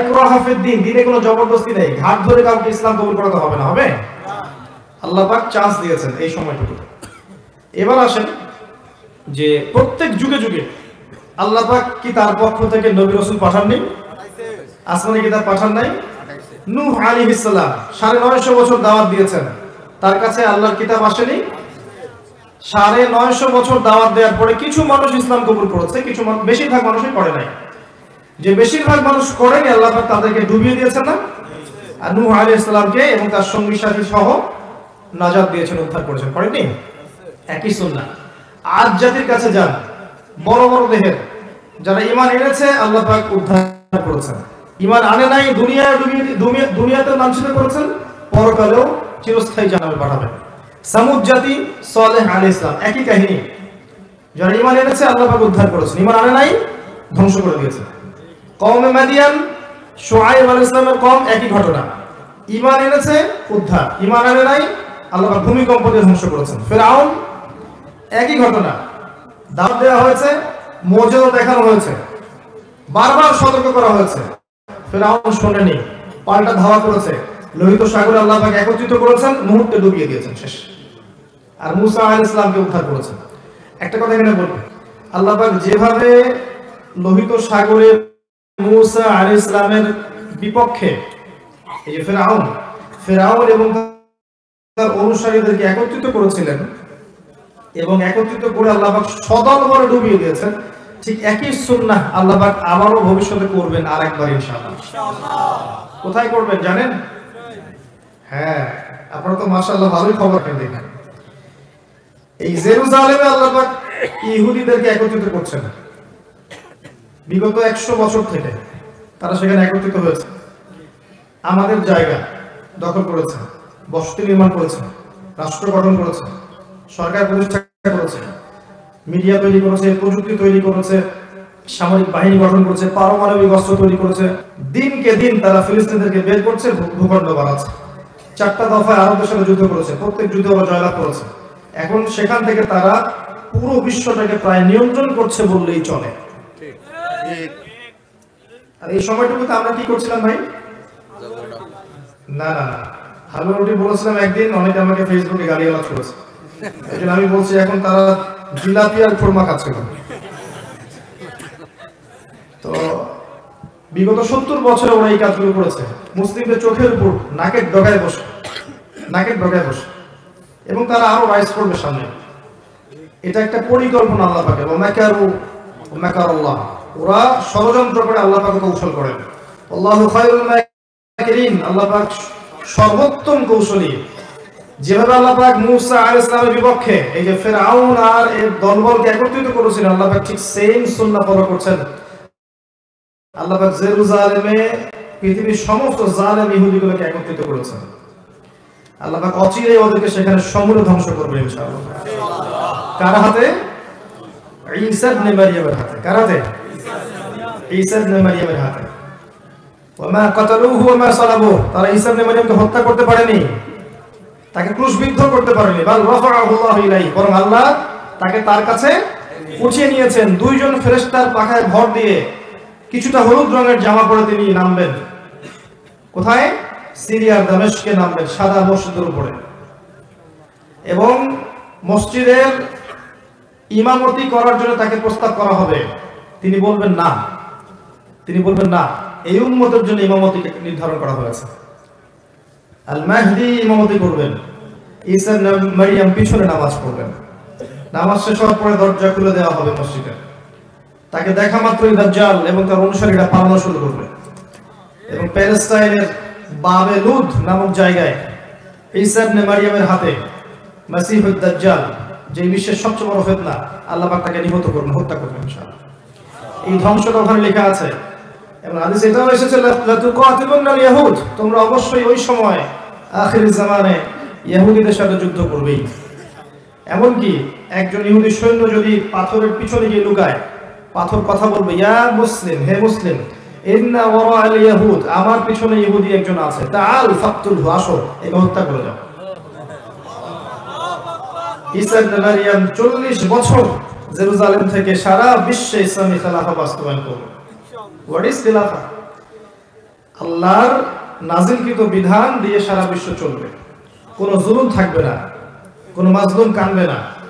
দেখবেন চুরি, ডাকাতি, জিনা ব্যভিচার হারাম সব চলে গেছে সুকুন, আমন, শান্তিতে পুরো বিশ্ববাসীর অবস্থা এমন হবে যে বাঘে, মহিষে এক ঘাটে পানি খাবে ফোরটি ইয়ার্স চল্লিশ বছরটা চলবে। এই চল্লিশ মানে কি সত্যি চল্লিশ না আরও বেশি? আল্লাহ ভালো জানেন। আমরা এতটুকু বলেছি ব্যাখ্যা আল্লাহ ভালো জানেন। এরপরে মানুষ আবারও খারাপ হওয়া শুরু করবে এবং এমন খারাপ হবে যে রাস্তাঘাটে মানুষ এই যে জেনা করবে। রাস্তাঘাটে। এদের সামনে একদিন পশ্চিম দিক থেকে সূর্য উঠবে, ওই দিনই কেমন হয়ে যাবে, মুহূর্তের মধ্যে। এমন হাদিস এসেছে যে একজন ব্যক্তি পানি খাওয়ার জন্য গ্লাস নিবে, পানি খাওয়ার আগে কেমন মুহূর্তে। বেচাকেনা করার জন্য কাপড় খুলবে, দামাদামি করতে করতে কেমন ঘোড়ার সে কি বলে অশ্ব শাবক ঘোড়ার বাচ্চাগুলোকে পানি খাওয়াতে নিয়ে যাবে, ফিরিয়ে আনতে আনতে কেমন মানে বাসায় গিয়ে, বাসায় ফিরে গিয়ে আহত পরিবারের সাথে মিট করবে সুযোগটা পাবে না। এখন তো বিপদ আপদ আসলে সতর্কতা সংকেত আসে না, যে চলে যান, নিরাপদে যান, এটা করেন, সেটা করেন। যারা পরিমাণ সময় পাবে না। আল্লাহ আমাকে এমন মালাইকা সৃষ্টি করেছেন যার এক ফুৎকারে পুরো মহাবিশ্ব ধ্বংস হয়ে যাবে। এটা হচ্ছে পৃথিবীর সামনের ভবিষ্যৎ। আর আমাদেরকে ওই যে অন্ধকারের পথযাত্রী যারা আলোর সংখ্যা শেখায়, ওরা বলে যে, না, পৃথিবীর পরে আমরা মঙ্গলে গিয়ে থাকব। তারপরে অন্য একটা গ্রহে গিয়ে থাকব। অমুক পানি পাওয়া গেছে, ওখানে যাব। মানুষকে রঙিন স্বপ্ন দেখায়। কারণ ওরা হয়তো বুঝে ফেলেছে যে পৃথিবীতে আমরা বেশি দিন নাই। যা শুরু করেছি ওয়ার্ল্ডে আমরা নিজেরাই পৃথিবীটা ধ্বংস করে ফেলি নাকি আমরা ভালো যাবে হতেই পারে। একটা যদি পারমাণবিক যুদ্ধ হয় পৃথিবীতে একটা। আপনি পৃথিবীর পও খুঁজে পাবেন কিনা সন্দেহ আছে। ওই কত সালে দ্বিতীয় বিশ্বযুদ্ধ কত সালে হয়েছে? সাতচল্লিশের দিকে। ওই সময় আমেরিকা বিশ্বের অন্যতম একজন জালেম সভ্যতা, সে ওই জাপানের হিরোশিমা নাগাসাকিতে যে লিটল বয় আর ফ্যাটম্যান দুইটা বোম ফেলেছিল না? দুইটা বড় বড় শহর মুহূর্তের মধ্যে পুরো শেষ হয়ে গেল আর এখনকার নিউক্লিয়ার ওয়েপেন্সগুলো চাইতে হাজার গুণ বেশি শক্তিশালী। এমন নিউক্লিয়ার ওয়েপেন্স আছে শব্দের গতিবেগের চেয়ে দ্রুত চলে যেতে পারে। সুপারসনিক গতি তো যদি দুইটা দেশের মধ্যে এটা শুরু হয়, আল্লাহ না করুক, আল্লাহ না করুক শুরু হয় ওয়ার্ল্ডের অবস্থা এমন থাকবে? আমরা দোয়া করছি আল্লাহ না করুক, কিন্তু কিছু মানুষ চাচ্ছে যেন হোক। এবং প্রেক্ষাপট এমন করে তৈরি করা রেডি করে রাখে উস্কায় একটা পরাশক্তি একটা উস্কে দেয়, যেন এটা শুরু হয়। যাক, আল্লাহ পাক যেন মুসলিমদেরকে হেফাজত করেন না। আল্লাহ মুমিন, মুত্তাকি বান্দা হেফাজত করেন পৃথিবীর ভবিষ্যৎ এমন হবে। মুসা আলাইহিস সালামের কওমের ক্ষেত্রে ফেরাউনকে যেভাবে ডোবানো হয়েছে, এখানকার এই বর্তমান ফেরাউনদেরকেও সেভাবেই ডোবানো হবে ইনশাআল্লাহ। হতাশ হবেন না, কষ্ট নেবেন না। বিষয়টা হচ্ছে যে আমরা আমাদের ঘুমন্ত অবস্থার কারণে এই পরিস্থিতি সৃষ্টি হয়েছে। আমাদের ইমানের কমতির কারণে আমরা যে কোরআন সুন্নাহ থেকে দূরে সরে গেছি, আমার আকিদা, আখলাক খারাপ হয়ে গেছে, হারামখোর হয়ে গেছি, জেনা, সুদ, ঘুষ ব্যভিচার পর্নোগ্রাফি যাবতীয় বিষয় আসক্ত হয়ে গেছে। আল্লাহর পথ ছেড়ে দিয়ে আমরা শয়তানের পথে হেঁটেছি, এই সময়টুকুর মধ্যে ইসলামের দুশ্মনরা শক্তিশালী হয়ে গেছে। আল্লাহ কি করবেন জানেন এখন? এই যে সময়টুকু দিয়েছেন আমাদেরকে এই সময়টুকুর মধ্যে যদি আমরা দিনের জন্য কিছু না করি, ব্যক্তি পর্যায়ে, পারিবারিক পর্যায়ে সোশ্যাল পর্যায়ে যদি না করি, আল্লাহ পাক আমাদেরকে সরিয়ে দিবেন আস্তে করে। দিয়ে ইয়াস্তাবদিল কওমান গায়রাকুম, অন্য কওমকে আল্লাহ পাক হেদায়েত দিয়ে এই জায়গায় নিয়ে আসবেন। সুম্মা লা ইয়াকুনু আমসালাকুম, তারা তোমাদের মতো হবে না। আল্লাহ বলেছেন, ইন্নাল্লাহ লা ইউগাইয়িরু মা বিকওমিন, হাত্তা ইউগাইয়িরু মা বিআনফুসিহিম। আল্লাহ পাক একটা কওমের অবস্থা ততক্ষণ পরিবর্তন করেন না, যতক্ষণ না ওরা নিজেদের অবস্থা পরিবর্তনের চেষ্টা করে। আমরা কি চেষ্টাটা করেছি বলেন দেখি কথা বললে তো মাইন্ড করে ফেলে। সত্যি কথা বলছি, আমাদের চেষ্টা ত্রুটি ছিল। অনেক বড় বড় ইস্যু আছে যেখানে আমরা চেষ্টা মোটেও করতে পারি নাই। আমরা ছোটখাটো বিষয় নিয়ে এত ব্যস্ত ছিলাম, একে অন্যের সাথে মানে কাদা ছড়াছড়ি করতে, যে এই সুযোগে আমাদের শত্রুটা অনেকগুলো হেঁটে গেছে। এটা ক্যাচ করা এখন আমাদের জন্য অনেক কঠিন হয়ে গেছে।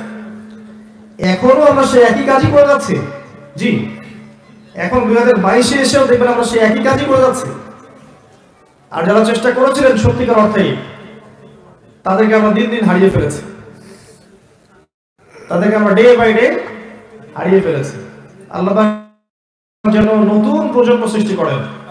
আল্লাহ যাকে পছন্দ করেন, আল্লাহ যেন তাকে কবুল করেন।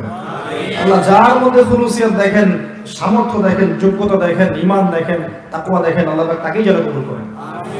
তাদেরকে দিয়ে আল্লাহ পাক এমন একটা রেভলিউশন ক্রিয়েট করেন এটা আগামী দিনগুলোতে মুসলিমরা অধঃপতনের হাত থেকে রক্ষা পায়।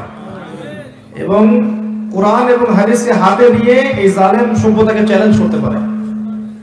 এবং আল্লাহর জমিন, আল্লাহর দিনের যে নূর, যে আল্লাহর দিনের যে ফ্লেভার যে আধ্যাত্মিকত্ব, যে পতাকার রং এটা যেন আল্লাহ প্রতিষ্ঠা করতে পারে, তৌফিক তার করে দেন। তো আমি বুঝাচ্ছিলাম যে প্রত্যেক যুগে একই সুন্নাহ। মুসা আলাইহিস সালাম এটা বুঝলেন। আসেন তারপরে। আচ্ছা। ঈসা ইবনে মারিয়াম, তার অনুসারীদের মধ্যে যারা তাকে ফলো করেছে, আল্লাহ পাক তার দিয়েছেন। আমাদের নবী মুহাম্মদ সাল্লাল্লাহু আলাইহি ওয়াসাল্লামের কাছে আসেন। এখান থেকে সবচেয়ে আলোচনা দিকে আমি। মুহাম্মদ সাল্লাল্লাহু আলাইহি ওয়াসাল্লামের সময় Abu Jahl, Abu Lahab, Utba Shaiba Rabia ছিল না? কুরাইশ। মুহাম্মদ সাল্লাল্লাহু আলাইহি ওয়াসাল্লামকে বাধা পেতে হয়েছে প্রথমত নিজেদের লোক থেকে, তাই না? নিজের ঘর, নিজের চাচা, নিজের বংশ। এটাই সুন্নাত ভাই। যে কবুলিয়ত যারা পাবে, ওদেরকে ঘর থেকেই বাধা দেওয়া হয়। বিরোধী শক্তিরা পরে আমরা কিন্তু দুরুদে পড়ি আল্লাহ সাল্লি আলা মুহাম্মদ, ওয়া আলি মুহাম্মদ, কামা সাল্লাইতা আলা ইব্রাহিম কখনো কি চিন্তা করেছেন যে অন্য নবীদের নাম বাদ দিয়ে এখানে ইব্রাহিমের নাম কেন? ভেবেছেন কখনো? একটু দুইজনের জীবনী পড়ে দেখবেন। দুইজনের জীবনের মধ্যে অনেক মিল আছে। এমনকি আমাদের নবীজি বলেছেন সাল্লাল্লাহু আলাইহি মেরাজের রাতে আমি যখন আল্লাহর সাথে দিদার সাক্ষাতে গিয়েছিলাম তখন আমি দেখেছি ইব্রাহিম আলাইহিস সালামকে এবং আমার চেহারা ঠিক তার মতোই। তার চেহারা আমার মতো। চেহারাতেও মিল আছে। আর ইব্রাহিম আলাইহিস সালামের ছেলে ইসমাইল ইসমাইল আলাইহিস সালামের বংশ হচ্ছে আমাদের নবী মুহাম্মদ সাল্লাল্লাহু আলাইহি ওয়াসাল্লাম। আরেকটা বংশ হচ্ছে ওই যে ইসহাক আলাইহিস সালাম, তারপর ইয়াকুব, সেখান থেকে বনু ইসরাইল দাউদ, সুলাইমান, মুসা ইসা সব এই এই এই লেগেসির মধ্যে। তো দুজনের জীবনী পড়ে দেখবেন, দুজনের জীবনের মধ্যে প্রচুর মিল। নবী মোহাম্মদ সাল্লাল্লাহু আলাইহি ওয়াসাল্লামকে পরিবার থেকে বাধা পেতে হয়েছে, ইব্রাহিম আলাইহিস সালামকেও পেতে হয়েছে। নবী সাল্লাল্লাহু আলাইহি ওয়াসাল্লামকে ধর্ম নেতারা বাধা দিয়েছেন, ইব্রাহিম আলাইহিস সালামকেও দিয়েছেন। নবী সাল্লাল্লাহু আলাইহি ওয়াসাল্লামকে সমাজ থেকে তাড়িয়ে হয়েছে। ইব্রাহিম আলাইহিস সালামকেও হিজরত করে চলে যেতে হয়েছে। নবী সাল্লাল্লাহু আলাইহি ওয়াসাল্লাম ওই যে মূর্তি ভাঙার মানুষ, তাই না? মক্কা বিজয়ের সময় সব ভেঙে ফেলেছিলেন না? বাকুল জাল হক বাতিল, এটা পড়ে পড়ে। সেই প্রেক্ষাপটে ভেঙেছেন, তারপর তার মানে আপনারা আবার অমুসলিমদের মূর্তি ভাঙতে যায় না। এক ওটা সেই প্রেক্ষাপট নয়। তিনি মক্কা বিজয় করেছেন ইসলাম স্টেট কায়েম করেছেন। ইসলাম স্টেট কায়েম করার পর তিনি তার লিডার আমির হিসেবে তার ডিসিশন তিনি নিতেই পারেন। কিন্তু রাইটস আর আছে। এটা এখানে আপনি খাটাতে পারবেন না। কারণ এটা সেকুলার স্টেট এখানে কোনো অমুসলিমের অধিকার হস্তক্ষেপ করতে পারবেন না। তারা তার মতো ধর্ম পালন করবে। ইব্রাহিম এর জীবনে গিয়ে দেখেন, তিনিও কিন্তু ওই যে মূর্তি ভেঙে মানে অনেক মিল আছে। আপনি খেয়াল করে দেখবেন, জীবনের প্রতিটা ক্ষেত্রেই ইব্রাহিম এবং মোহাম্মদ সাল্লাহ আলী ইসলামের প্রচুর মিল আছে। হয়তো বা এই কারণে, আল্লাহ ভালো জানেন হয়তো বা এই কারণে এখানে নামের মধ্যে পাশাপাশি রাখা হয়েছে। আল্লাহ আলম ইসলাম আল্লাহ ভালো জানেন, এটা অন্য একজন আলমের ব্যাখ্যা, আমি আমার মধ্যে করলাম। তো নবী মুহাম্মদ সাল্লাল্লাহু আলাইহি সাল্লামের জীবনের দিকে তাকান, দেখেন তাকে এই যে আবু জেহেল আবুল্লাহ উতবা সাহেবা কেউ মেনে নেয় তাকে সমাজে নির্যাতন সহ্য করতে হয়েছে, গালি মন্দ খেতে হয়েছে, হত্যার চেষ্টা করা হয়েছে, দেশ ত্যাগ করে অন্য জায়গায় হিজরত করতে হয়েছে। কিন্তু আল্লাহ রাব্বুল আলামিন তাকে এবং তার অনুসারীদেরকে কিয়ামত পর্যন্ত কিন্তু চিরঞ্জীব করে রেখেছেন। দেখেন নাই? পক্ষান্তরে তার বিরোধিতা যারা করেছিলেন, তাদের কাউকে কি আল্লাহ অস্তিত্ব রেখেছেন? একই সুন্নত। আমাদের নবী সাল্লাল্লাহু আলাইহি যেই যুগে বাস করতেন, শোনেন সেই যুগের মধ্যে শিরিক ছিল। কি ছিল? শিরক ছিল। সুদ ছিল। জিনা ছিল।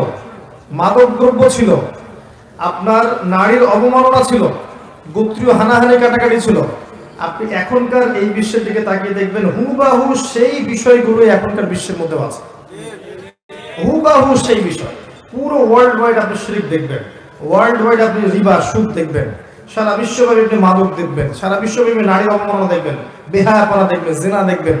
সারা বিশ্বব্যাপী আপনি দেখবেন গোত্রীয় হানাহানি এখন রাষ্ট্রীয় হানাহানিতে উঠিয়েছে একই স্টাইল চলছে।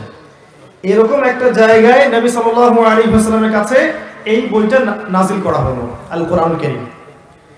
এই কোরআনুল কারীম দিয়ে নবী সাল্লাল্লাহু আলাইহি ওয়াসাল্লাম 23 বছর দাওয়াতি কাজ করলেন। কত বছর? এবার 23 বছর পরের মক্কার দিকে আপনি তাকান। এখানে কোনো শিল্প নাই। আছে? কোনো সুদ নাই। মাদক নাই। নারীর কোনো অবমাননা নাই। কোনো অশ্লীলতা নাই। গোত্রীয় হানাহানি কাটাকাটি কিছু আছে? কিচ্ছু নাই।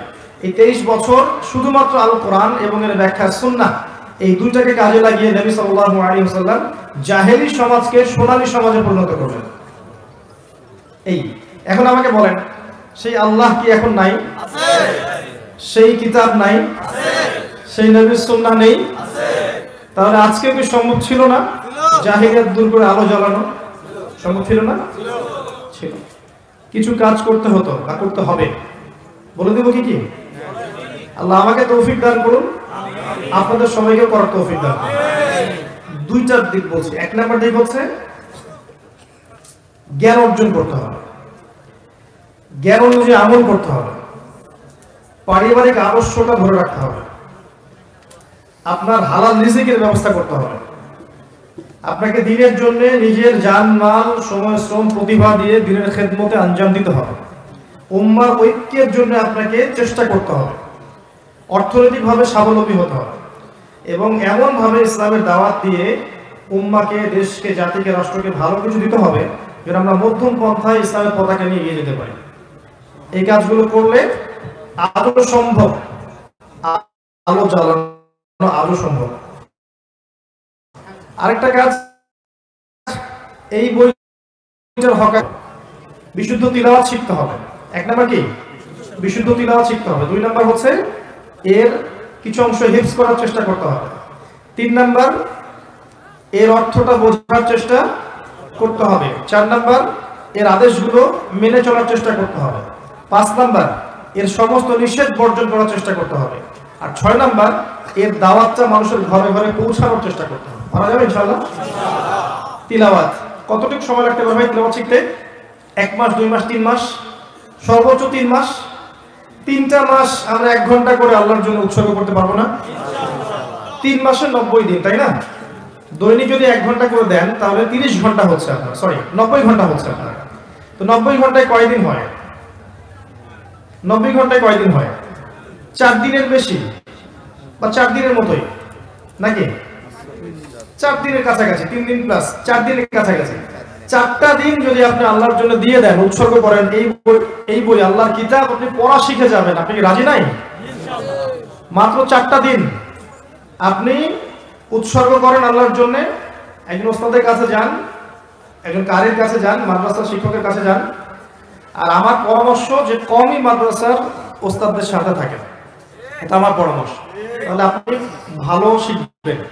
আরবি ব্যাকরণ থেকে শুরু করে আপনি কোরআন, হাদিস ফিক অন্যান্য বিষয়গুলো ভালো শিখবেন ইনশাআল্লাহ। গিয়ে আপনি সুন্দর করে কোরআন পড়া শেখেন পারবেন ইনশাল্লাহ ভাই?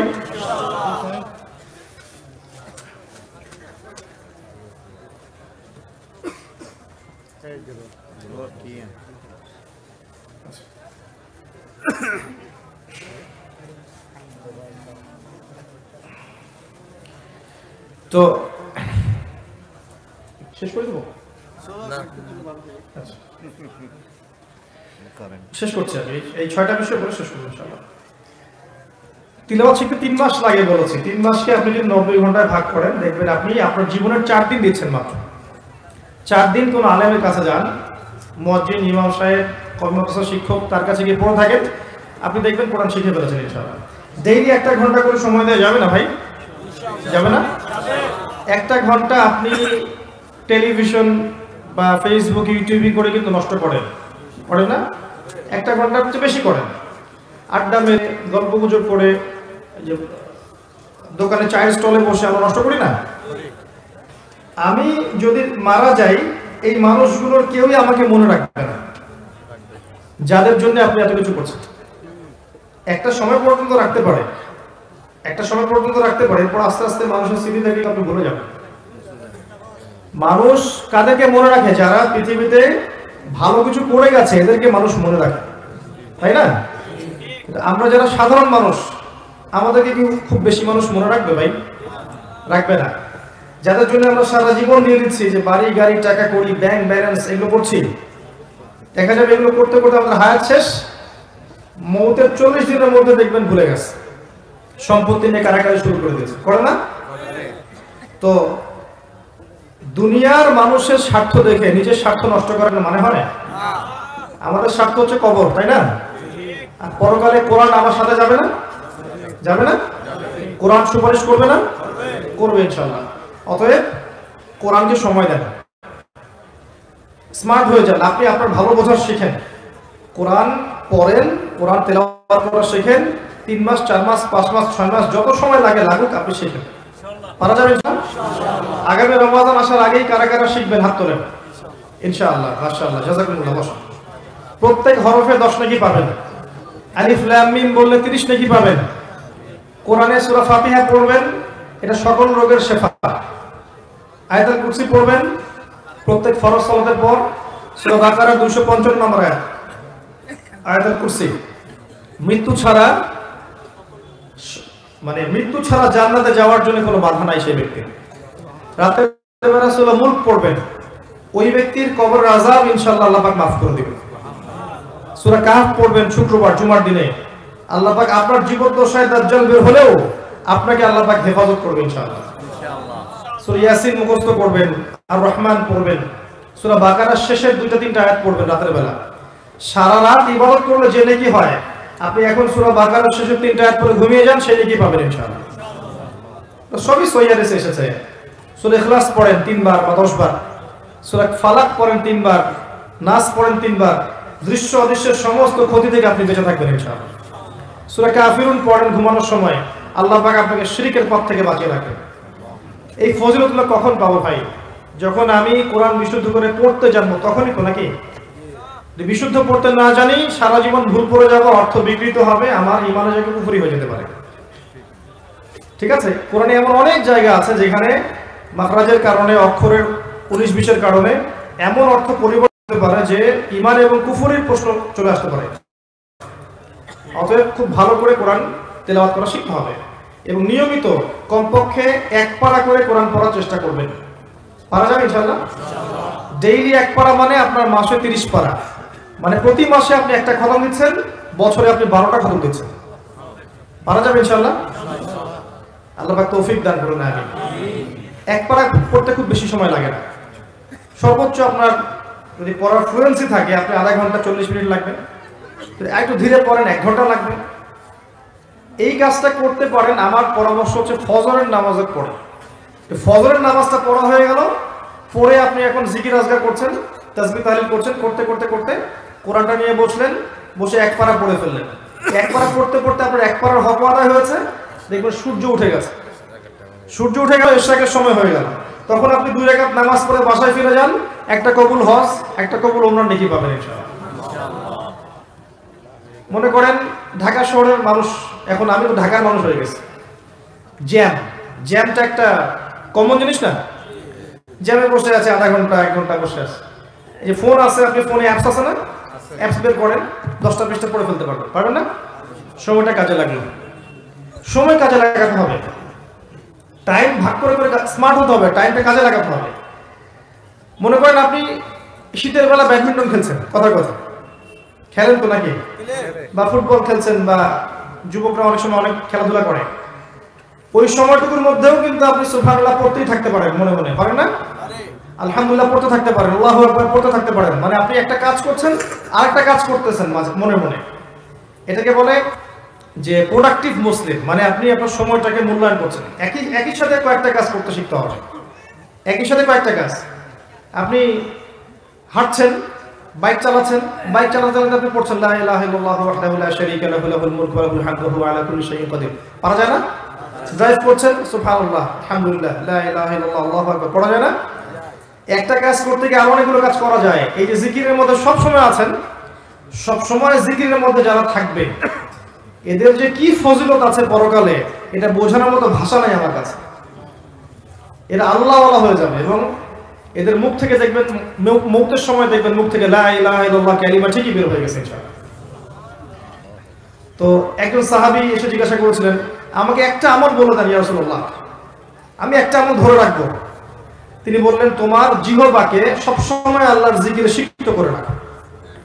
তো একটা কাজ করতে গিয়ে অনেক জিকির করা যায়। আমি এটা বলতে গিয়ে আসলে সময়কে কাজে লাগান একবার করে পড়া সম্ভব প্রতিদিন, সম্ভব না? আল্লাহ সবাইকে তৌফিক দান করুন, সবার আগে আমাকে তৌফিক দান অর্থ বোঝেন? তেলাওয়াত করেন। কারণ সবাই অর্থ বুঝতে পারবে না। সবার পক্ষে সম্ভব নয়। অর্থ বোঝেন আর নাই বোঝেন, আপনাকে তেলাওয়াতটা শিখতে হবে এবং করতে হবে। নিয়মিত এক পারা করে।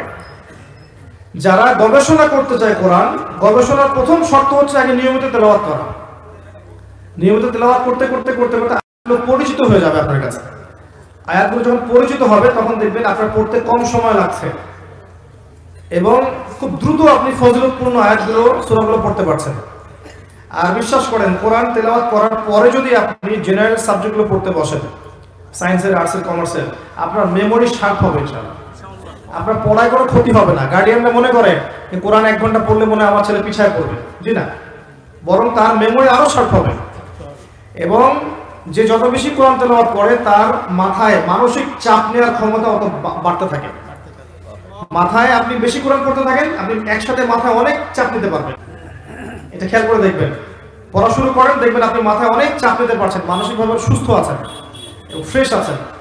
আরেকটা কথা বলি। জানি আমার এই কথাটা গডলেস গডলেস ওয়ার্ল্ড বলতে বোঝাচ্ছি যে আল্লাহীন এই সভ্যতা। আমি আল্লাহ মানে গড বলিনি।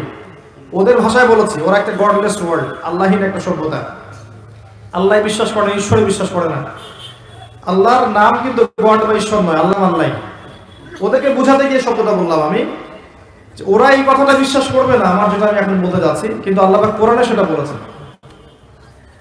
আপনার কাছে মনে হবে যে যত রোগ ব্যাধি, বিপদ আপদ বালা আছে। রোগ ব্যাধির কথাই ধরে এগুলো শুধু চিকিৎসা দিয়ে শেফা হয়। আপনার কাছে এটা মনে হতে পারে। কোরআনে আল্লাহ পাক বলেছেন, কোরআন ও শেফা। কোরআন যারা বেশি বেশি তেলাওয়াত করে, এই তেলাওয়াতের বরকতে আল্লাহর ইচ্ছায় সে আরোগ্য লাভ করতে পারে। অনেকে বলতে পারে এটা আনসাইন্টিফিক কথা। তাদের দৃষ্টিতে না, তারা তো চাক্ষুষ ছাড়া বিশ্বাস করবে না। তাই না? আল্লাহ পাক কোরআনে বলেছেন, ওয়া নুনাজ্জিলু মিনাল কোরআন মা হুয়া শিফাউ ওয়া রাহমাতুল মুমিনিন। আমি কোরআন নাজিল করেছি, এই কোরআনের মধ্যে মুমিনদের জন্য শেফা আছে, আরোগ্য আছে। দেহের আরোগ্য, মনের আরোগ্য আছে, আত্মার রোগের শেফা আছে এখানে। দেহের শেফা আছে। আরেকটা আয়াত বলতে যাচ্ছে। সূরা বানু ইসরাইল। আপনি খেয়াল করে দেখবেন, যারা কোরআন তেলাওয়াত খুব বেশি বেশি করে, খুব বেশি বেশি করে, অনেক ধরনের বিপদ আপদ, বালা রোগ ব্যাধি থেকে আল্লাহ পাক হেফাজত করে রাখেন তাদের। এটা তারা বুঝতে পারে। আপনি বুঝতে পারবেন না। আল্লাহ সূরা বানি ইসরাইলের মধ্যে বলেছেন, আল্লাহ বলেছেন যে ওয়াইদা কোরআন হে নবী, যখন তুমি কোরআন তেলাওয়াত করবে বা করো, জাআলনা বাইনাকা ওয়া বাইনাল লাযিনা লা ইউমিনুনা বিল হিজাবান মাসতুরা যখন তুমি কোরআন পড়বে, নিয়মিত আপনি কোরআন পড়বেন, কোরআনের সাথে থাকবেন, তখন হে নবী, আপনার মাঝে এবং তাদের মাঝে যারা আল্লাহ বিশ্বাস করে না, পরকালে বিশ্বাস করে না, ওই যে গডলেস ওয়ার্ল্ড ওদের মাঝে আমি একটা অদৃশ্য নিরাপত্তার পর্দা বসিয়ে দিব। ওখান থেকে কোনো ক্ষতি আপনার কাছে আসতে পারবে না। এটা কোরআনের আয়াত। এবার শোনেন ওয়ার্ল্ডের যত ফিতনা, যত ফাসাদগুলো আছে, এর শেকড় হচ্ছে ওই সভ্যতাগুলো। পর্নোগ্রাফি কোথেকে আসছে? ওই থেকে আসছে। গ্লোবাল মাদক কোথেকে আসছে? সারা ইউনিভার্সাল সুদ রিবা কোথেকে আসছে? ইউনিভার্সাল শিরিক কোথেকে আসছে?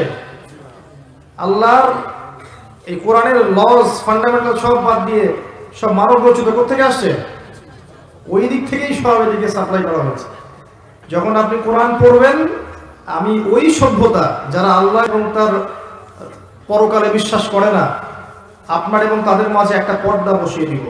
ওখান থেকে কোনো ক্ষতি আপনাকে স্পর্শ করতে পারবে না। বলে দেই, যত ভাইরাসগুলো আছে না, ওখান থেকে এসেছে। ওদিক থেকে আসছে না? কোরআন বেশি বেশি পড়েন, আল্লাহ পাক আপনাকে ভাইরাস থেকে বাঁচাবে স্বাস্থ্যবিধি অবশ্যই মেনে চলবেন। আমি কখনো বলি এটা মানবেন না। অবশ্যই মেনে চলেন, মাস্ক পরেন, স্যানিটাইজার ইউজ করেন, আপনি ভ্যাকসিন নিচ্ছেন হোয়াট এভার আপনি যা করছেন করেন। কোরআন ছাড়বেন না। কোরআন আগে। আল্লাহ বলেছেন, কোরআন এগুলো থেকে আপনাকে বাঁচাবে ইনশাআল্লাহ। আপনি সচেতন থাকবেন সুস্থ থাকবেন পরিষ্কার পরিচ্ছন্ন থাকবেন সব ঠিক আছে। কোরআনকে সময় দিবেন। এই দুইটা মিলে দেখবেন আপনি প্রোটেক্টেড ইনশাআল্লাহ। কারণ আমাদেরকে বিশ্বাসও করতে হবে কাজও করতে হবে তাই না? বিশ্বাসটা আমাদের কোরআন আর আমাদের প্রোটেকশনটা এটা। প্রোটেকশন নিব যুদ্ধ করতে গেছি ঢাল তলোয়ার লাগবে না? খালি হাতে চলে যাবে নাকি? তো ঢাল তলোয়ার হচ্ছে আমার কোরআন আর আপনি প্রোটেকশন নিয়েছেন ঠিক আছে। দুটোই ঠিক আছে, কিন্তু কোরআনকে ছেড়ে দিয়ে নয়। যারা কোরআনকে বাদ দিয়ে শুধু বস্তুবাদিতার দিকে ধাবিত করতে চায়, এরা এক প্রকার অন্ধ জাতি। এদের ভিতরে কোনো ইন্টারনাল লাইফ নেই। তো কোরআন বেশি করে তেলাওয়াত করেন, দিনে এক পারা তেলাওয়াত করার চেষ্টা করেন, আল্লাহ পাক তৌফিক ইনায়াত করুন, আমিন। এইটা প্রথম কাজ ছিল, নবী সাল্লাল্লাহু আলাইহি ওয়াসাল্লাম সাহাবায়ে শিখিয়েছেন। এরপরে হিফজ করবেন কিছু অংশ। কিছু অংশ হিফজ করেন। আপনি চাইলে 30 পারা হিফজ করতে পারেন। তুলা এক পারা দুই পারা তিন পারা পাঁচ পারা আপনি চেষ্টা করেন। আপনার ছেলেদেরকে হিফজ খানায় পাঠান, হাফেজ বানান। তবে একটা কথা, এমন যেন না হয় যে তারা তাদের পুরো জীবনে শুধু কোরআন মুখস্থ করেই থেমে গেছে, সামনে কোরআনের অর্থটা বুঝতে পারে নাই, এমনটা যেন না হয়। কারণ শুধুমাত্র এইটুকু মুখস্থ করে যদি সে সারা জীবন কাটিয়ে দেয়, তাহলে নিঃসন্দেহে কোরআনের হকটা কিন্তু আদায় হয়নি। অর্থ কিন্তু বোঝা উচিত ছিল। ছিল না? তো তাদেরকে হিপস করান, হাফেজ বানান। আমি কখনো বলিনি যে এই বাচ্চাদেরকে হিপস করানো যাবে না বা হিপস খানাতেই অর্থ শেখাতে হবে। কথাটাকে ঘুরিয়ে একটা অর্থ নিয়েছে ওই যে বললাম, আমি যেমন, আমার স্বামীও তেমন। তো নিয়েছে যে হ্যাঁ তাহলে তার স্বামীও স্ত্রী, তার স্বামীও একজন মহিলা। আমি যেমন, আমার স্বামীও তেমন। হিপস করবে সে। হিপস করবে, হিপস করার বয়সে সে হিপস করবে। এরপর যখন সে ম্যাচিউড হবে, সে অ্যারাবিক ল্যাঙ্গুয়েজ শিখবে। আরও বড় ক্লাসে যাবে, আরও বড় বড় কিতাব শিখবে। একটা পর্যায়ে কোরআনের তাফসিরগুলো পড়বে। সে যেন তার পুরো এই মাদ্রাসা সিলেবাসে কোরআনের অর্থটা বুঝে বের হয়ে যায়। এমন যেন না হয় যে সারাটা জীবন চলে গেল, শুধু হিপস করেই শেষে আছে। আমি এটা বুঝাতে চেয়েছি যে শুধুমাত্র হিপস করেই যেন শান্ত না হয়, সে যেন আরও পরবর্তীতে পড়াশোনাগুলো করতে পারে। এই কথার উদ্দেশ্য এটা ছিল না যে আপনার হিপস করা খারাপ হিপস করা যাবে না, বা হিপস করলে আপনি ঝরে পড়ছেন, পিছিয়ে পড়ছেন, এরকম কথা কখনো বলা হয়নি। আমি তো নিজেও আগে হিপস করেছি। আল্লাহ পাক যতটুকু করার তৌফিক দিয়েছেন, তিরিশ পারা না হলে প্রথমে আমি হিপস করেছি, তারপরে অ্যারাবিক ল্যাঙ্গুয়েজ শিখেছি, তারপর ব্যাকরণ শিখেছি, এরপরে মাদ্রাসা কিতাব পড়েছে। এটাই তো সিস্টেম আপনি যদি শুধু হিফ করে ছেড়ে দেন এবং একটা মসজিদে তারাবি পড়াচ্ছেন? পড়াচ্ছেন পড়াচ্ছেন পড়াচ্ছেন। আপনি পড়াশোনাটা বাড়ালেন না। অ্যারাবিক ল্যাঙ্গুয়েজ শিখলেন না আরবি গ্রামার শিখলেন না, কোরআনের তাফসির শিখলেন না। এই পড়া কি যথেষ্ট হলো? বইটার কি হকটা সত্যি আদায় হলো? তাহলে বইয়ে কি আছে আমি বুঝব কীভাবে? আমি এই বইটা দিয়ে পশ্চিমাদেরকে চ্যালেঞ্জ করব কীভাবে? আমি এই বই দিয়ে সমাজ সংসার কেমন করে করব? এটা বোঝাতে চেয়েছি। আল্লাহ পাক আমাদেরকে সঠিকটা বোঝার তৌফিক এনায়ত করুন আর সামান্য ইস্যু পেলেই ইস্যু পাগল না হয়ে আমাদেরকে বাস্তববাদী হওয়ার তৌফিক দান করুন। আপসে কাদা ছোড়াছড়ি মনোভাব ত্যাগ করার তৌফিক দান করুন। আমি হিপস করেন। হিপস করলে একটা ফজিলত আছে যে হাফেজে কোরআনদেরকে আল্লাহ রাব্বুল আলামিন বলবেন যে, কোরআন আওয়াজ তুমি পড়ো এবং উঠতে থাকো। কোরআন পড়ো এবং তোমার মর্যাদায় উঠতে থাকো। যেখানে তোমার পড়া শেষ হবে, সেখানে তোমার জান্নাতের স্থায়িত্ব হবে। এবং হাফেজে কোরআনদের পিতা মাতাদেরকে আল্লাহ নূরের তাজ পড়াবেন। নূরের তাজ। আর যে ব্যক্তি হিপস করেছে তার তো আর প্রশ্নই ওঠে না। নবী সাহাবায়ে কেরাম শুধুমাত্র তোতা পাখির মতো মুখস্থ করতেন না, বরং তার উপর তারা আমল করতেন, এটা বুঝতেন, এটা প্রচার প্রসার করতেন, এটা বোঝাতে চেয়েছি যদি আমি শুধু এতটুকুতে সীমাবদ্ধ থাকি, তাহলে বাকি কাজগুলো আমি করতে পারব না। এটাই ছিল উদ্দেশ্য। আল্লাহ পাক উদ্দেশ্যটা বোঝার তৌফিক করুন। এরপর আপনি অবশ্যই আরবি ভাষায় যাবেন কোরআন হিফজ করেছেন, অ্যারাবিক ল্যাঙ্গুয়েজটা শেখেন। এসো আরবি শিখি, মিজান মুন সাহেব, মিজান মুন সাহেব থেকে শুরু করে নাহু সরফের বইগুলো পড়বেন। এবং অবশ্যই কওমি মাদ্রাসার সাথে সম্পৃক্ত রাখে পড়বেন। এটা আমার পরামর্শ। যে মাদ্রাসাতেই অ্যারাবিক ভালো পড়ানো হয় সেখানেই যান। তবে কওমি মাদ্রাসার যে কাঠামোটা আছে দীর্ঘদিন থেকে বাংলাদেশে প্রতিষ্ঠিত, এই প্যাটার্নটা অনেক বেশি অনেক বেশি ডেভেলপড এবং অনেক বেশি অ্যারাবিকের ক্ষেত্রে মানে প্রোগ্রেসিভ তারা এগিয়ে গেছে অনেক। তো এই জায়গায় আপনি যদি সময় দেন, পাঁচ বছর, চার বছর সময় দেন আপনি আরবি ভালো শিখবেন ইনশাআল্লাহ।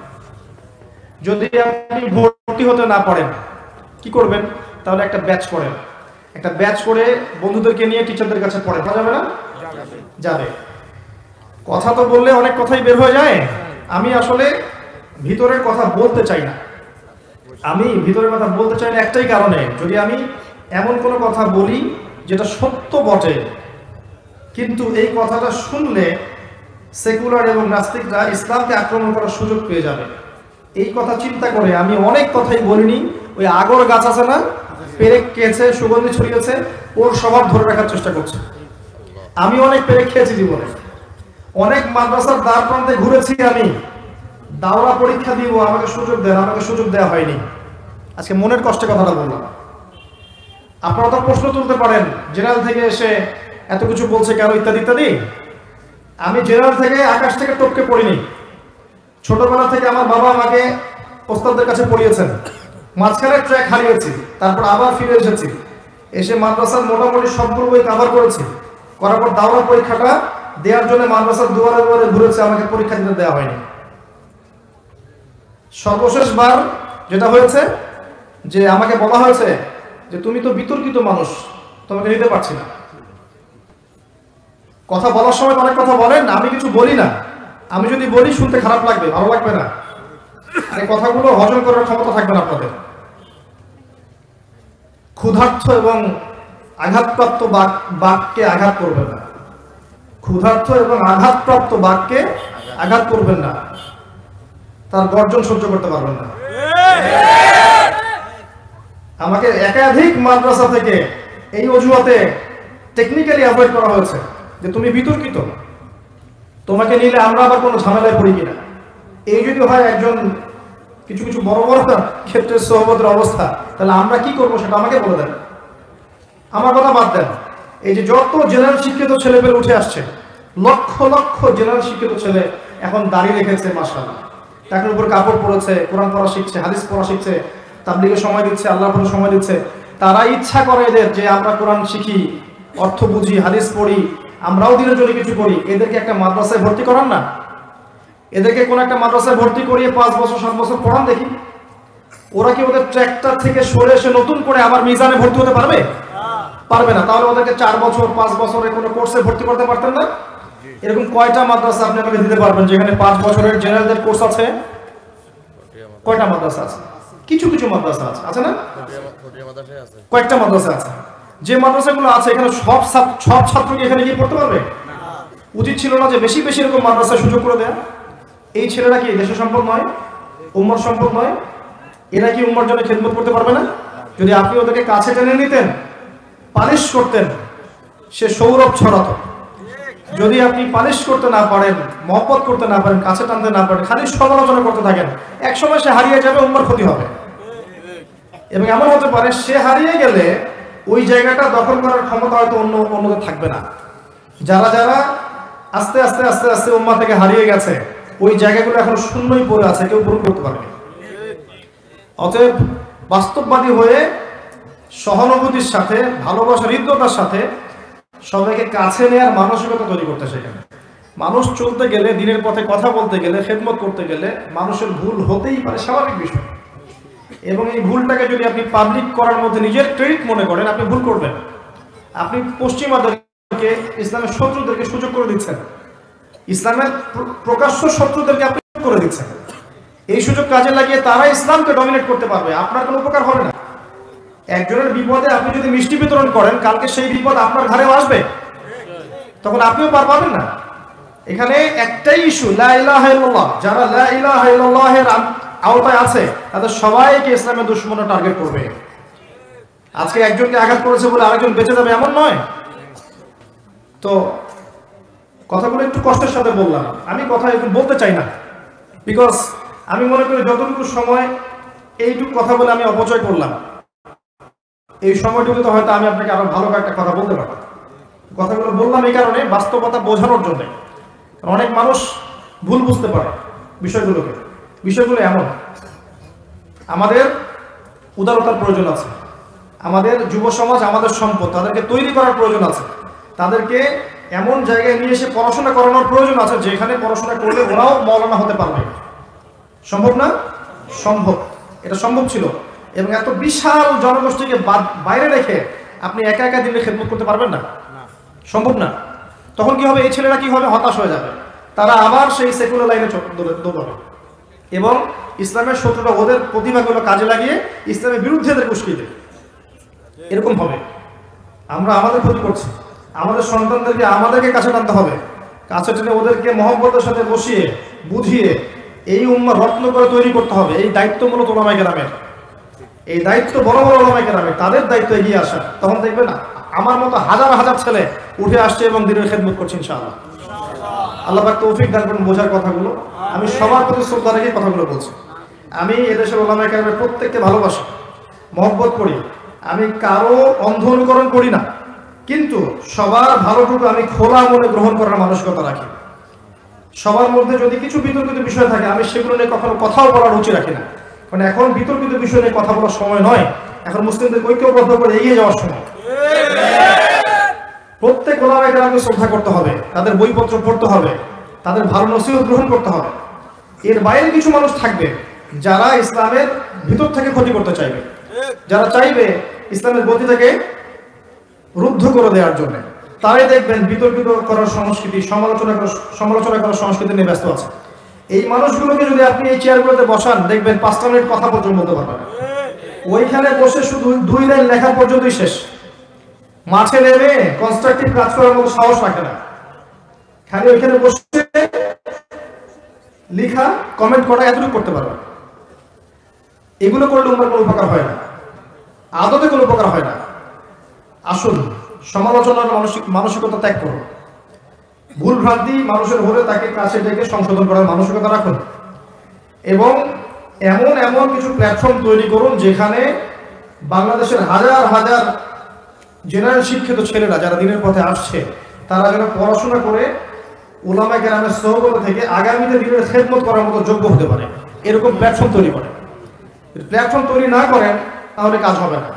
শুধুমাত্র কথা বলে কাজ হবে না। তখন এই ছেলেগুলো ঝরে পড়বে।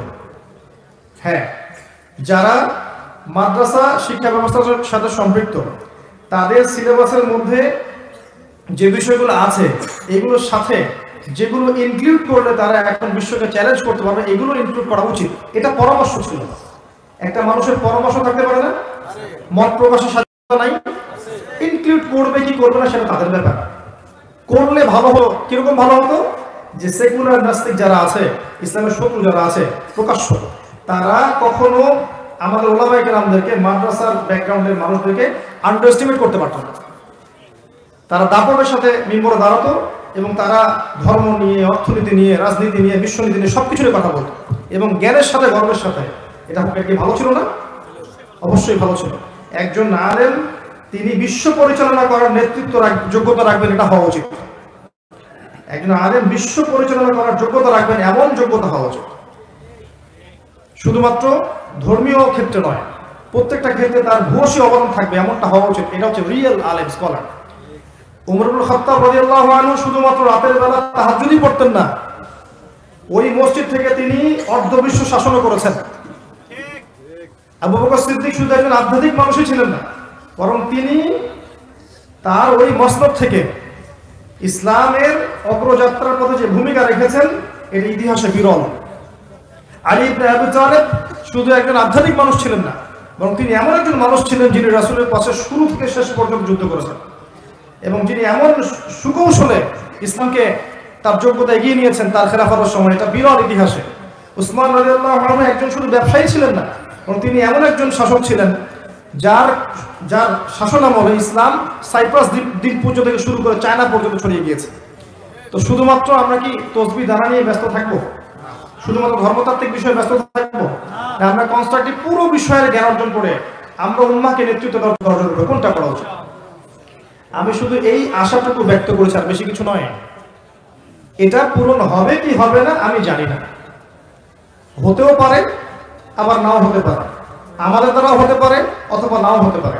অথবা আমাদের পরবর্তী প্রজন্ম আসতে পারে অথবা তার পরবর্তী আসতে পারে। কিন্তু এই স্যার মারিয়াম যখন আসবেন, তখন সারা বিশ্বটা এই ধাঁচেই হবে ইনশাল্লাহ এখন এই মাঝখানের পথ চলাটুকুতে আমাদেরকে সবরের সাথে এগোতে হবে।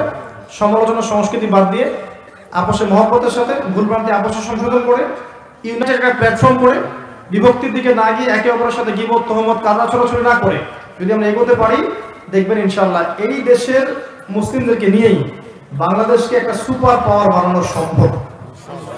আল্লাহ আমাদের সবাইকে তৌফিক দান করুন। হিপস করেন, অর্থটা বোঝেন। আরবি ব্যাকরণ শেখেন, আরবি ভাষা শেখেন, কোরআনের অর্থটা বোঝেন। তাফসীর মারিফুল কোরআন, ইবনে কাসির জালালাইন যে তাফসীরটা আপনার কাছে ভালো লাগে আপনি পড়েন। যে, যেটা বুঝতে পারছেন না ওলামা কেরামের সোহবতে গিয়ে অর্থটা বুঝে নেন। এরপর আদেশগুলো মানেন তাওহীদ, সিয়াম মারুফ মুনকার, যতগুলো আদেশ কোরআনে আছে, এগুলোকে মেনে চলার চেষ্টা করেন। আল্লাহ তৌফিক দান করুন। যত নিষেধ আছে, এগুলোকে বর্জন করার তৌফিক দান করুন। শিরিক করেন না, বেদাতে যায় না, হারাম খায় না সুদ, ঘুষ, জেনা ব্যভিচার এই যে চুরি, ডাকাতি, দুর্নীতি, এগুলো ধার কাছেও যায় না। আল্লাহ নিষেধগুলো বর্জন করেন। এগুলো কোরআনের বেসিক হক বেসিক কাজ। এরপর আপনি কোরআনের দাওয়াতটা মানুষের কাছে পৌঁছে দেন। নিজে আমল করেন, পরিবারের উপর আমল প্রতিষ্ঠিত করেন, এবার আপনি দাওয়াতটা মানুষের কাছে পৌঁছে দেন। আপনার দাওয়াতে যত মানুষ হকের পথে আসবে, সমস্ত মানুষের দিকে আপনি একাই পাবেন ইনশাআল্লাহ। আর আপনার ভুল কাজের কারণে মানে অন্যায় পথে মানুষকে ডাকার কারণে যত মানুষ অন্যায় করবে, এই সমস্ত অন্যায়ও কিন্তু আপনার ধারে চলে আসবে। সো ইসলামের এই দাওয়াত, কোরআনের দাওয়াত শুধু মুসলিমদের মাঝে নয়, অমুসলিমদের মাঝেও পৌঁছে দিতে হবে। ইসলামের সৌন্দর্য দেখে দেখবেন ইনশাল্লাহ হাজার হাজার অমুসলিম ইসলাম কবুল করবে ইনশাল্লাহ। ইসলামের দাওয়াতটা ডোর টু ডোর পৌঁছানোর চেষ্টা করা। অনলাইন সেকশন অফলাইন সেকশন মসজিদ ভিত্তিক, মক্তব ভিত্তিক, মাদ্রাসা ভিত্তিক যত মাধ্যম আছে, সমস্ত মাধ্যমকে কাজে লাগিয়ে কোরআনের দাওয়াতটা মানুষের কাছে পৌঁছানোর চেষ্টা করতে হবে। আল্লাহ সবাইকে তৌফিক দান করুন আমি আমরা সর্বশেষ কথা এটাই বলতে চাই যে ইতিহাসের শুরু থেকে শেষ পর্যন্ত আল্লাহ পাক একই সুন্নাহ রেখেছেন। যারা যুগে যুগে আল্লাহর হৃদায়ত মেনেছে, আল্লাহ পাক উদ্ধার করেছেন। যারা মানেন নাই, আল্লাহ পাক তাদেরকে ধ্বংস করেছেন। সর্বশেষ নবী মোহাম্মদ আলাইহি ওয়াসাল্লামকে আল্লাহ পাক এই কোরআন দিয়েছেন।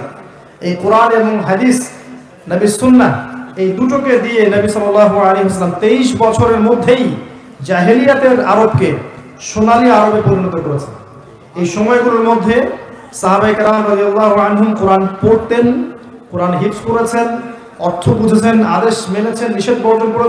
মানুষকে দাওয়াত দিয়েছেন।